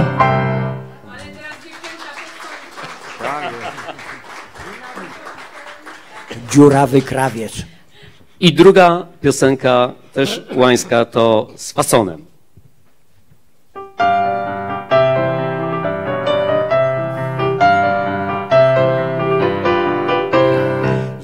Jacka wściekle mina, czapeczka na bakier. Nasze polskie żołnierzyki wszystkie już są takie. Policzki rumiane, Gęby roześmiane, szabelkami dzwonią. Pannom oczki płoną. Z fasonem, z fasonem, elegancko bracie krok. Z fasonem, z fasonem, po żołniersku hip-hop.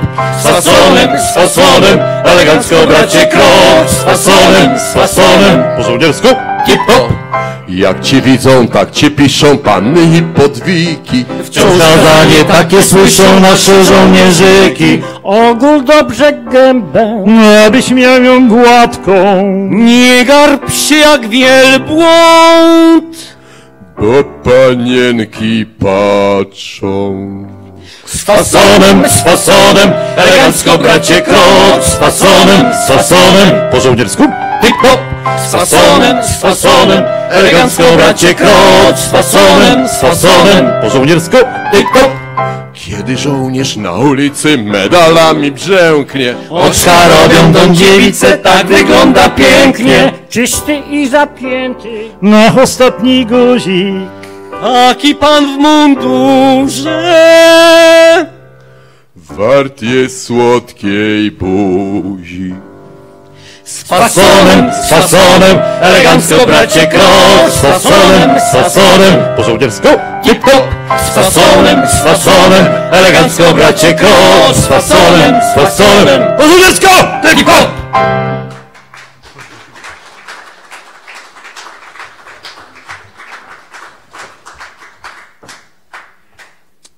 To tyle będzie na temat żołnierzy i więcej dzisiaj nie będziemy Państwa męczyć żołnierskimi piosenkami. Wracamy do lat 20. i 30., bo w tym repertuarze rzeczywiście my się dobrze czujemy, a poza tym lubimy ten repertuar. Najczęściej te piosenki opowiadały o stosunkach damsko-męskich. Jakby nie patrzeć, to ona jego kocha, on ją kocha, on może przyjść, ona nie może przyjść, on chce, ona nie chce. Pierwszy utwór z tego cyklu, który chcę Państwu przedstawić, to autorstwa Henryka Warsa, ikona polskiej muzyki lat 20. i 30., 30., ale również okresu powojennego, i Emanuela Schlechtera. Pochodzi z 1937 roku, a piosenka pochodzi jeszcze z filmu Piętro Wyżej i pewnie Państwo będziecie ją kojarzyć i też zapraszam do śpiewania, zwłaszcza refrenu, bo refren jest bardzo znany pod tytułem Umówiłem się z nią na siódmą? Ósmą? Nie, na dziewiątą. Za 15 minut.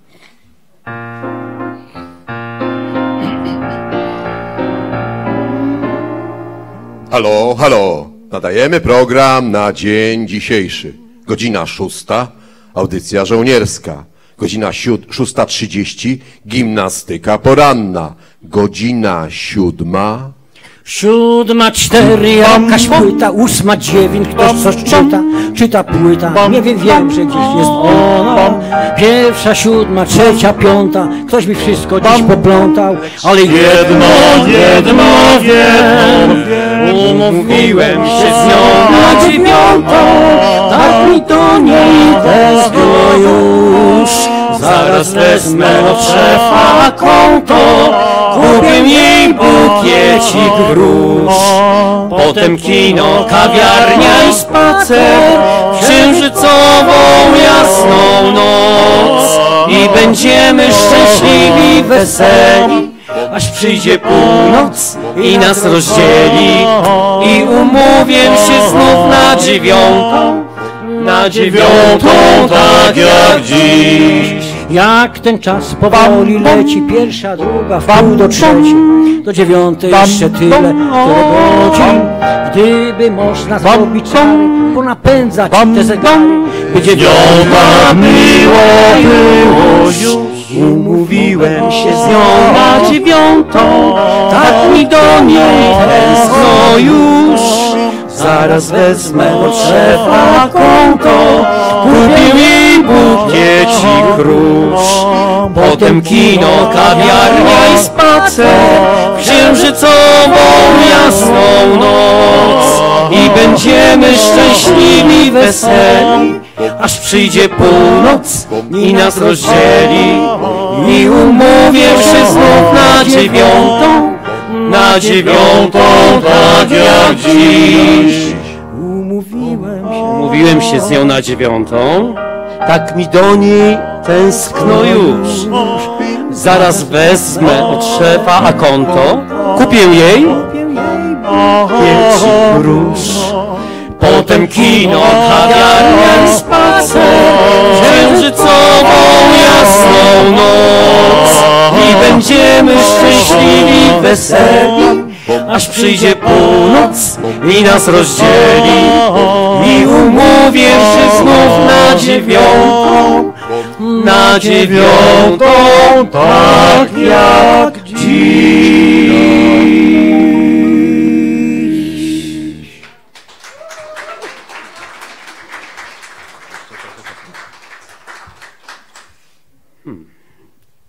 Umówił się z nią na dziewiątą, ale tak naprawdę chyba nie przyszedł, albo się spóźnił, a najprawdopodobniej w ogóle go nie było. No i co ta biedna kobieta sobie pomyślała, że no zaraz powiem Państwu, co sobie pomyślałam. Otóż ten sam autor, czyli Henryk Wars, razem z Jerzym Nelem i z Ludwikiem Starskim, tym od Alana Starskiego, ojciec jego, napisali piosenkę w 1937 roku, do, 34 roku, przepraszam, do filmu Pieśniarz Warszawy. A piosenka, no właśnie, Zimny drań.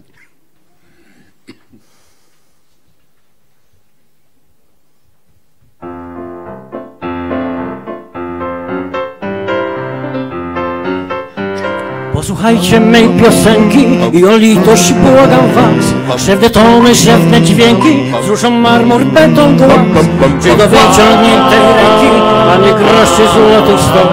Mnie nie zależy, bądźmy szczerzy Grunt by jakoś, no już taki jest. Jestem zimny drań, No i dobrze mi z tym bez dwóch zdań O tym jest rzeczy sedno, że jest mi wszystko jedno. Już taki jestem, zimny drań. Już taki jestem, zimny drań. I dobrze mi z tym bez zdań. Bo w tym jest rzeczy sedno, że jest mi wszystko jedno. Taki jestem zimny drań. Moja niania nad kołyską tak śpiewała mi co dzień, że zdobędę w życiu wszystko i usunę wszystkich cień. No i prawdy była blisko, ale w tym jest właśnie sen, chodzę sobie, nic nie robię. I to jest mój wdzięk, już taki jestem, zimny drań. I dobrze mi się, jak bez dwóch zdań. Bo tym jest rzeczy sedno, że jest mi wszystko jedno. Taki jestem zimny drań. Taki jestem zimny drań. Dobrze mi jestem bez dwóch zdań.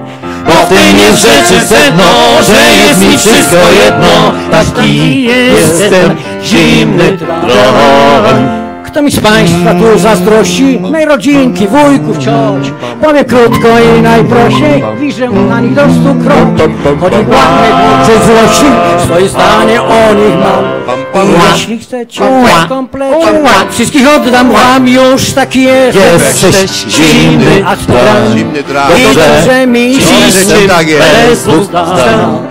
Bo w tym jest rzeczy sedno, że jest ci wszystko jedno. Taki jesteś zimny drań. Taki jesteś zimny Całkiem zimny drań. Dobrze, Dobrze ci bez dwóch zdań. Bo w tym jest rzeczy sedno, że jest ci wszystko jedno. Taki jesteś zimny drań.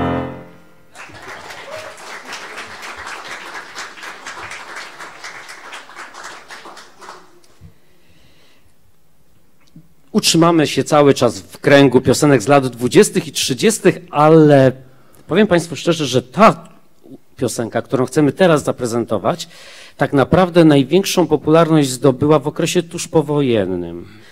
Dlaczego? Dlatego, że opowiada o problemach mieszkaniowych. Nie, Ale blisko. ale blisko. Czy pani mieszka sama?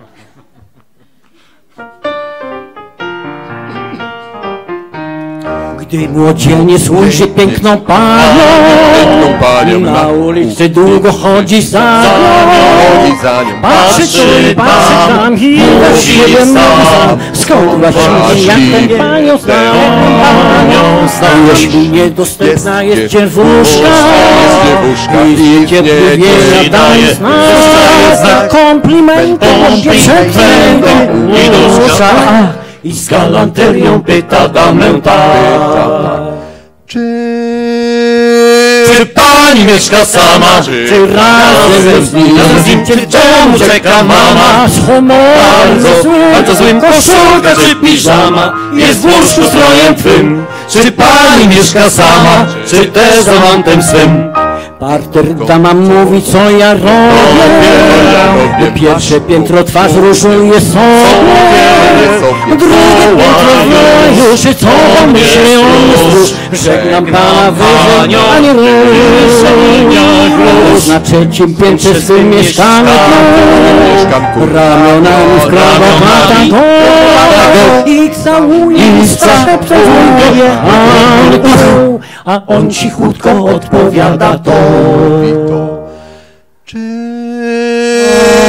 pani mieszka sama? Czy razem z nim, czy w domu czeka mama? co złym zły koszulka czy piżama Jest w łóżku strojem twym Czy pani mieszka sama? Czy też z amantem swym?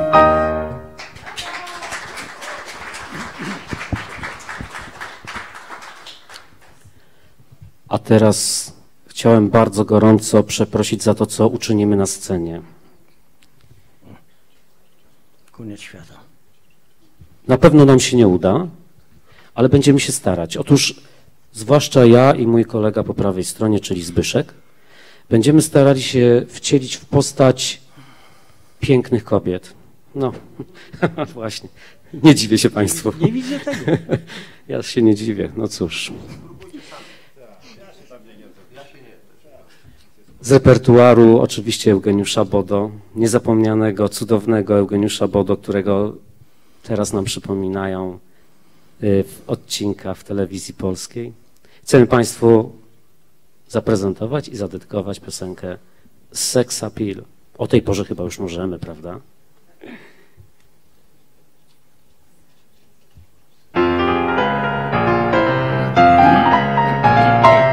Wy jesteście mocni, silni, my słaba płeć. Lecz my mamy coś, co byście wy chcieli mieć. Co jest warta wasza siła, wasza pięść i twarda dłoń. My kobiety, choć słabiutkie, mamy na was jedną broń. Seks, obroń kobieca, seks, do was podnieca. Dzięki Szar, szyktem was obywamy w mir. Jeden znak, Nie wiecie sami, to i ja, pogodzi nami. Ech, uch, och, ach, Słychać już po całych dniach. Jeden uśmiech, jedna minka, już każdy z was Już każdy z was. Najtwardszy głaz Od razu grzecznie, serdecznie jest dla każdej z nas. Sława, sława jest mocniejsza, sława, sława najsilniejsza. Tyle szar, szyk, nasza Nazywamy w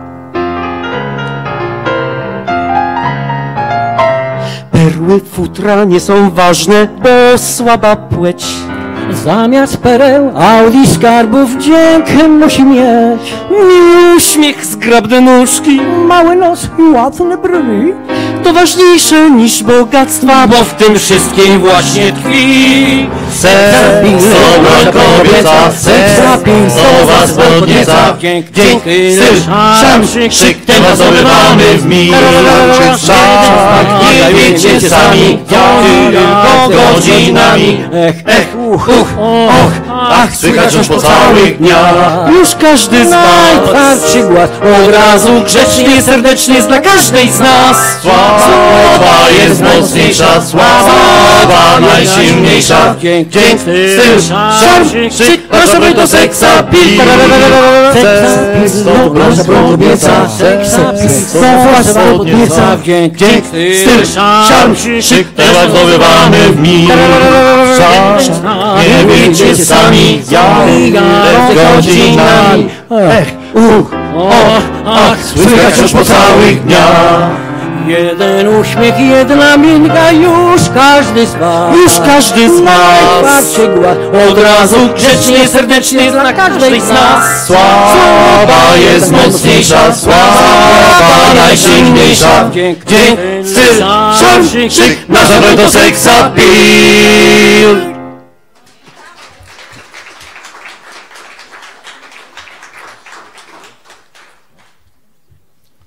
Zbliżamy się powolutku do końca i chcemy zakończyć nasze spotkanie utworem. Do końca pierwszej części oczywiście. tak jest, panie dyrektorze. chcemy zakończyć ten, to nasze spotkanie utworem y, angiel, amerykańskim, ale z tekstem właśnie pana profesora Bolesława Ociasa. Otóż w 1924 roku duet, małżeństwo George i Eva Gershwin napisali musical O Lady Be Good i wykonamy piosenkę pod tym samym tytułem właśnie O Lady Be Good. Zapraszam.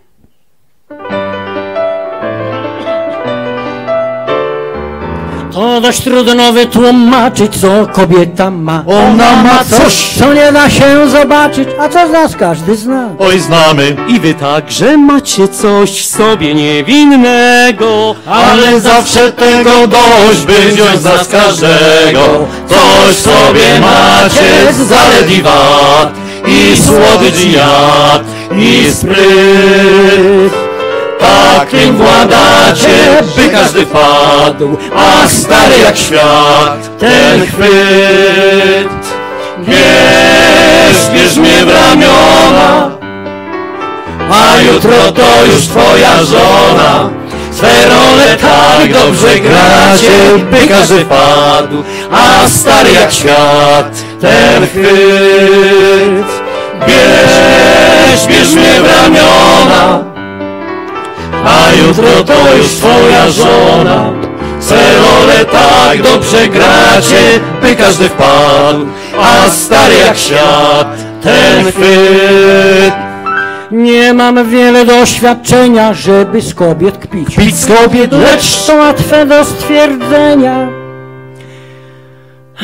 że was diablik tkwi. Mój diablik.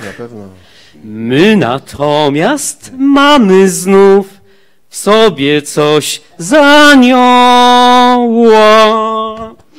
Coś, co zmusza was do snów nieanielskich zgoła. To sobie macie zalet i słodycz jad, i spryt. Tak tym władacie, by każdy wpadł, a stary jak świat ten chwyt. Bierz, bierz mnie w ramiona, a jutro to już twoja żona. Te role tak dobrze gracie, by każdy wpadł, a stary jak świat ten chwyt. Bierz, bierz mnie w ramiona, a jutro to już twoja żona. Swe tak dobrze gracie, by każdy wpadł, a stary jak ten chwyt, ten chwyt.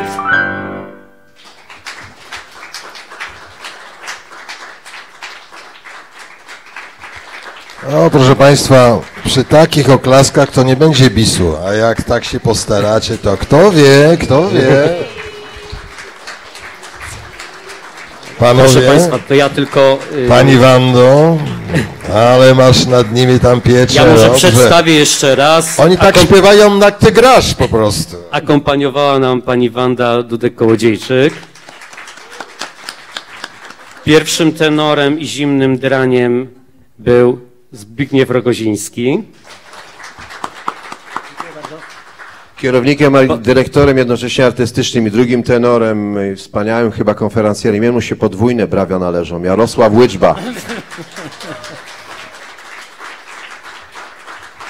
Po mojej lewej stronie baryton Tadeusz Dudek.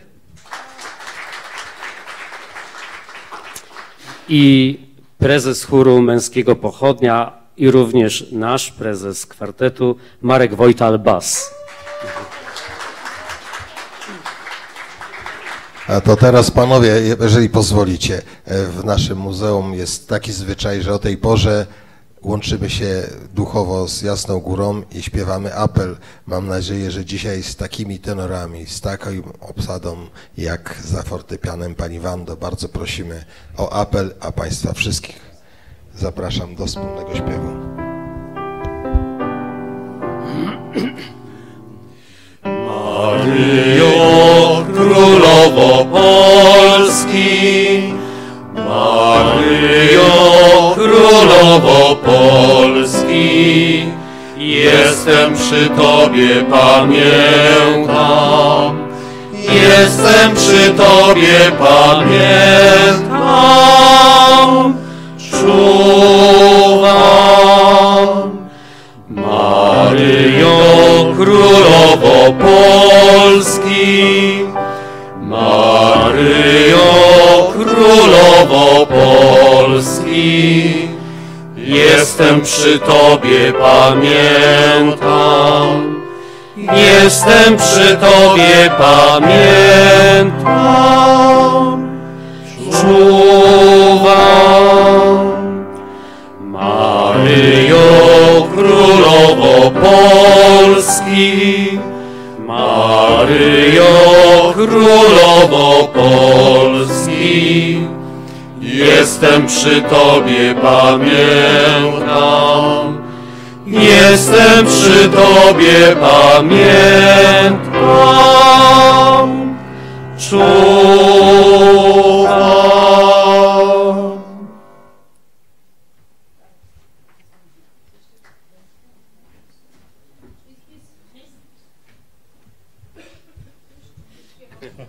Dzień dobry Państwu. Myślę, że to będzie lepiej. Przepraszam, że Was zasłaniam. Kochani, chciałem powiedzieć, że 51. spotkanie z cyklu z Janem Pawłem II dobiega końca, dlatego że na koniec byśmy bardzo prosili o bis. Krzysztof jest zawsze niesamowity. Dziękujemy. Powiem szczerze, że byliśmy na to przygotowani, no tak nieskromnie powiedziawszy. Proszę Państwa, y, żeby zakończyć tak optymistycznie i na wesoło i, i żebyśmy mogli iść z takimi otwartymi sercami do domu i, i dzielić się radością, to powiem, że w 1979 roku, o znów zacząłem gadać, przepraszam, w 1979 roku powstał film Żywot Briana. Będę mówił szybko i krótko. Z tego filmu pochodzi piosenka Zawsze patrz w tą jasną stronę życia, czyli Always look on the bright side of love.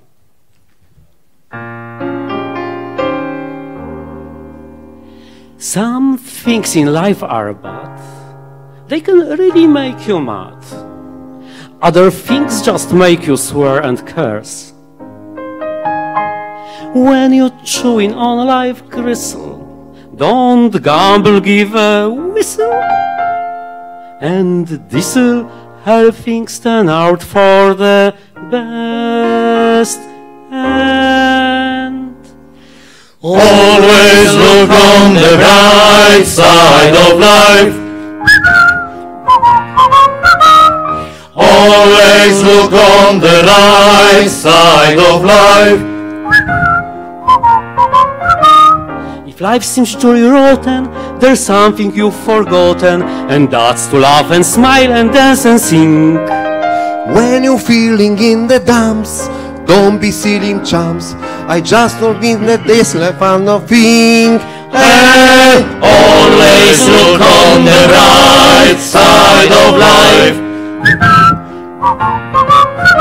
Czysto. Always look on the right side of life. For life is quite absurd, and there's the final word. You must always face the curtain with a bow. Forget about your sin, give the audience a grin. I jotted this on just one anyhow.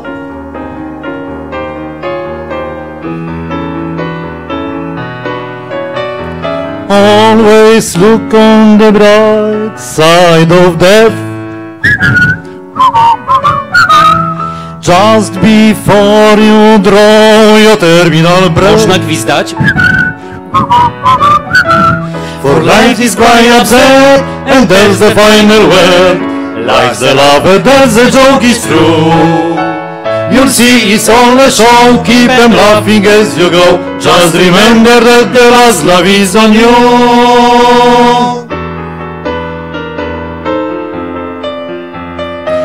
Everybody, always look on the bright side of life. Piszemy. Always look on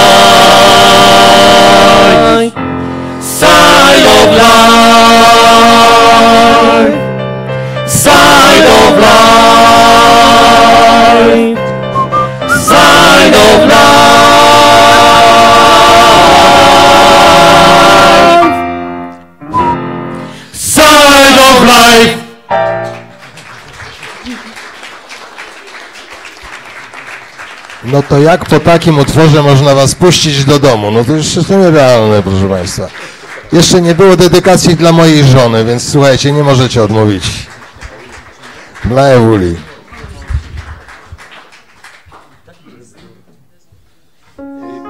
Proszę Państwa, to już, żeby Państwa już nie zanudzać tak długo i nie przytrzymywać specjalnie tutaj, to rzeczywiście na koniec e, chcieliśmy Bardzo zaśpiewać taki y, umowny hymn nasz, czyli naszego kwartetu. Dobrze, że Y, jest. A z racji tej, że jesteśmy zespołem wokalnym, to, to będzie dzisiaj chyba jedyny utwór, który chcemy zaśpiewać sami, bez naszej akompaniatorki, bez Wandy, czyli a cappella. Z dedykacją oczywiście. Tak, Śpiewamy. tak, oczywiście z dedykacją. Śpiewamy, bo żo, Dla- dla żo, żon- żony mamy w domu, dlatego Tak, tak. śpiewamy. Możemy to powiedzieć też dla żony Krzysztofa, a, a, a nasze żony są w domu, dlatego to możemy zaśpiewać. Dlatego. Ale one was oglądają przez internet.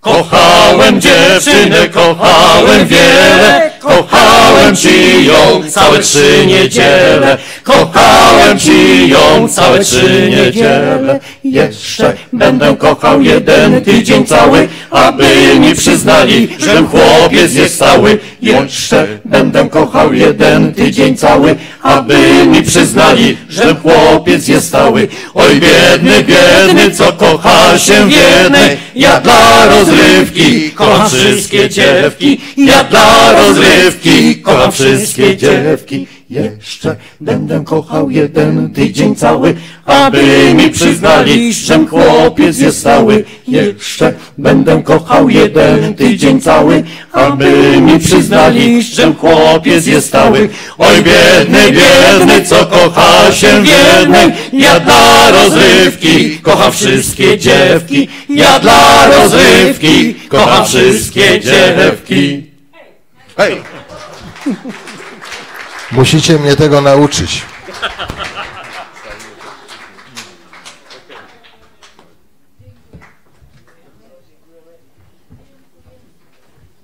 No to co kochani, bardzo, bardzo dziękujemy, wielkie oklaski, dziękujemy Państwu, miłego wieczoru. Dzisiaj nam mecz pokrzyżował plany, bo wszyscy po prostu polecieli zobaczyć, jak tam wbijają bramki. Ale za to jeden Dudek został e, tutaj, drugiego Dudka tutaj wspierać. Bardzo pozdrawiamy wszystkich. Do miłego zobaczenia za miesiąc.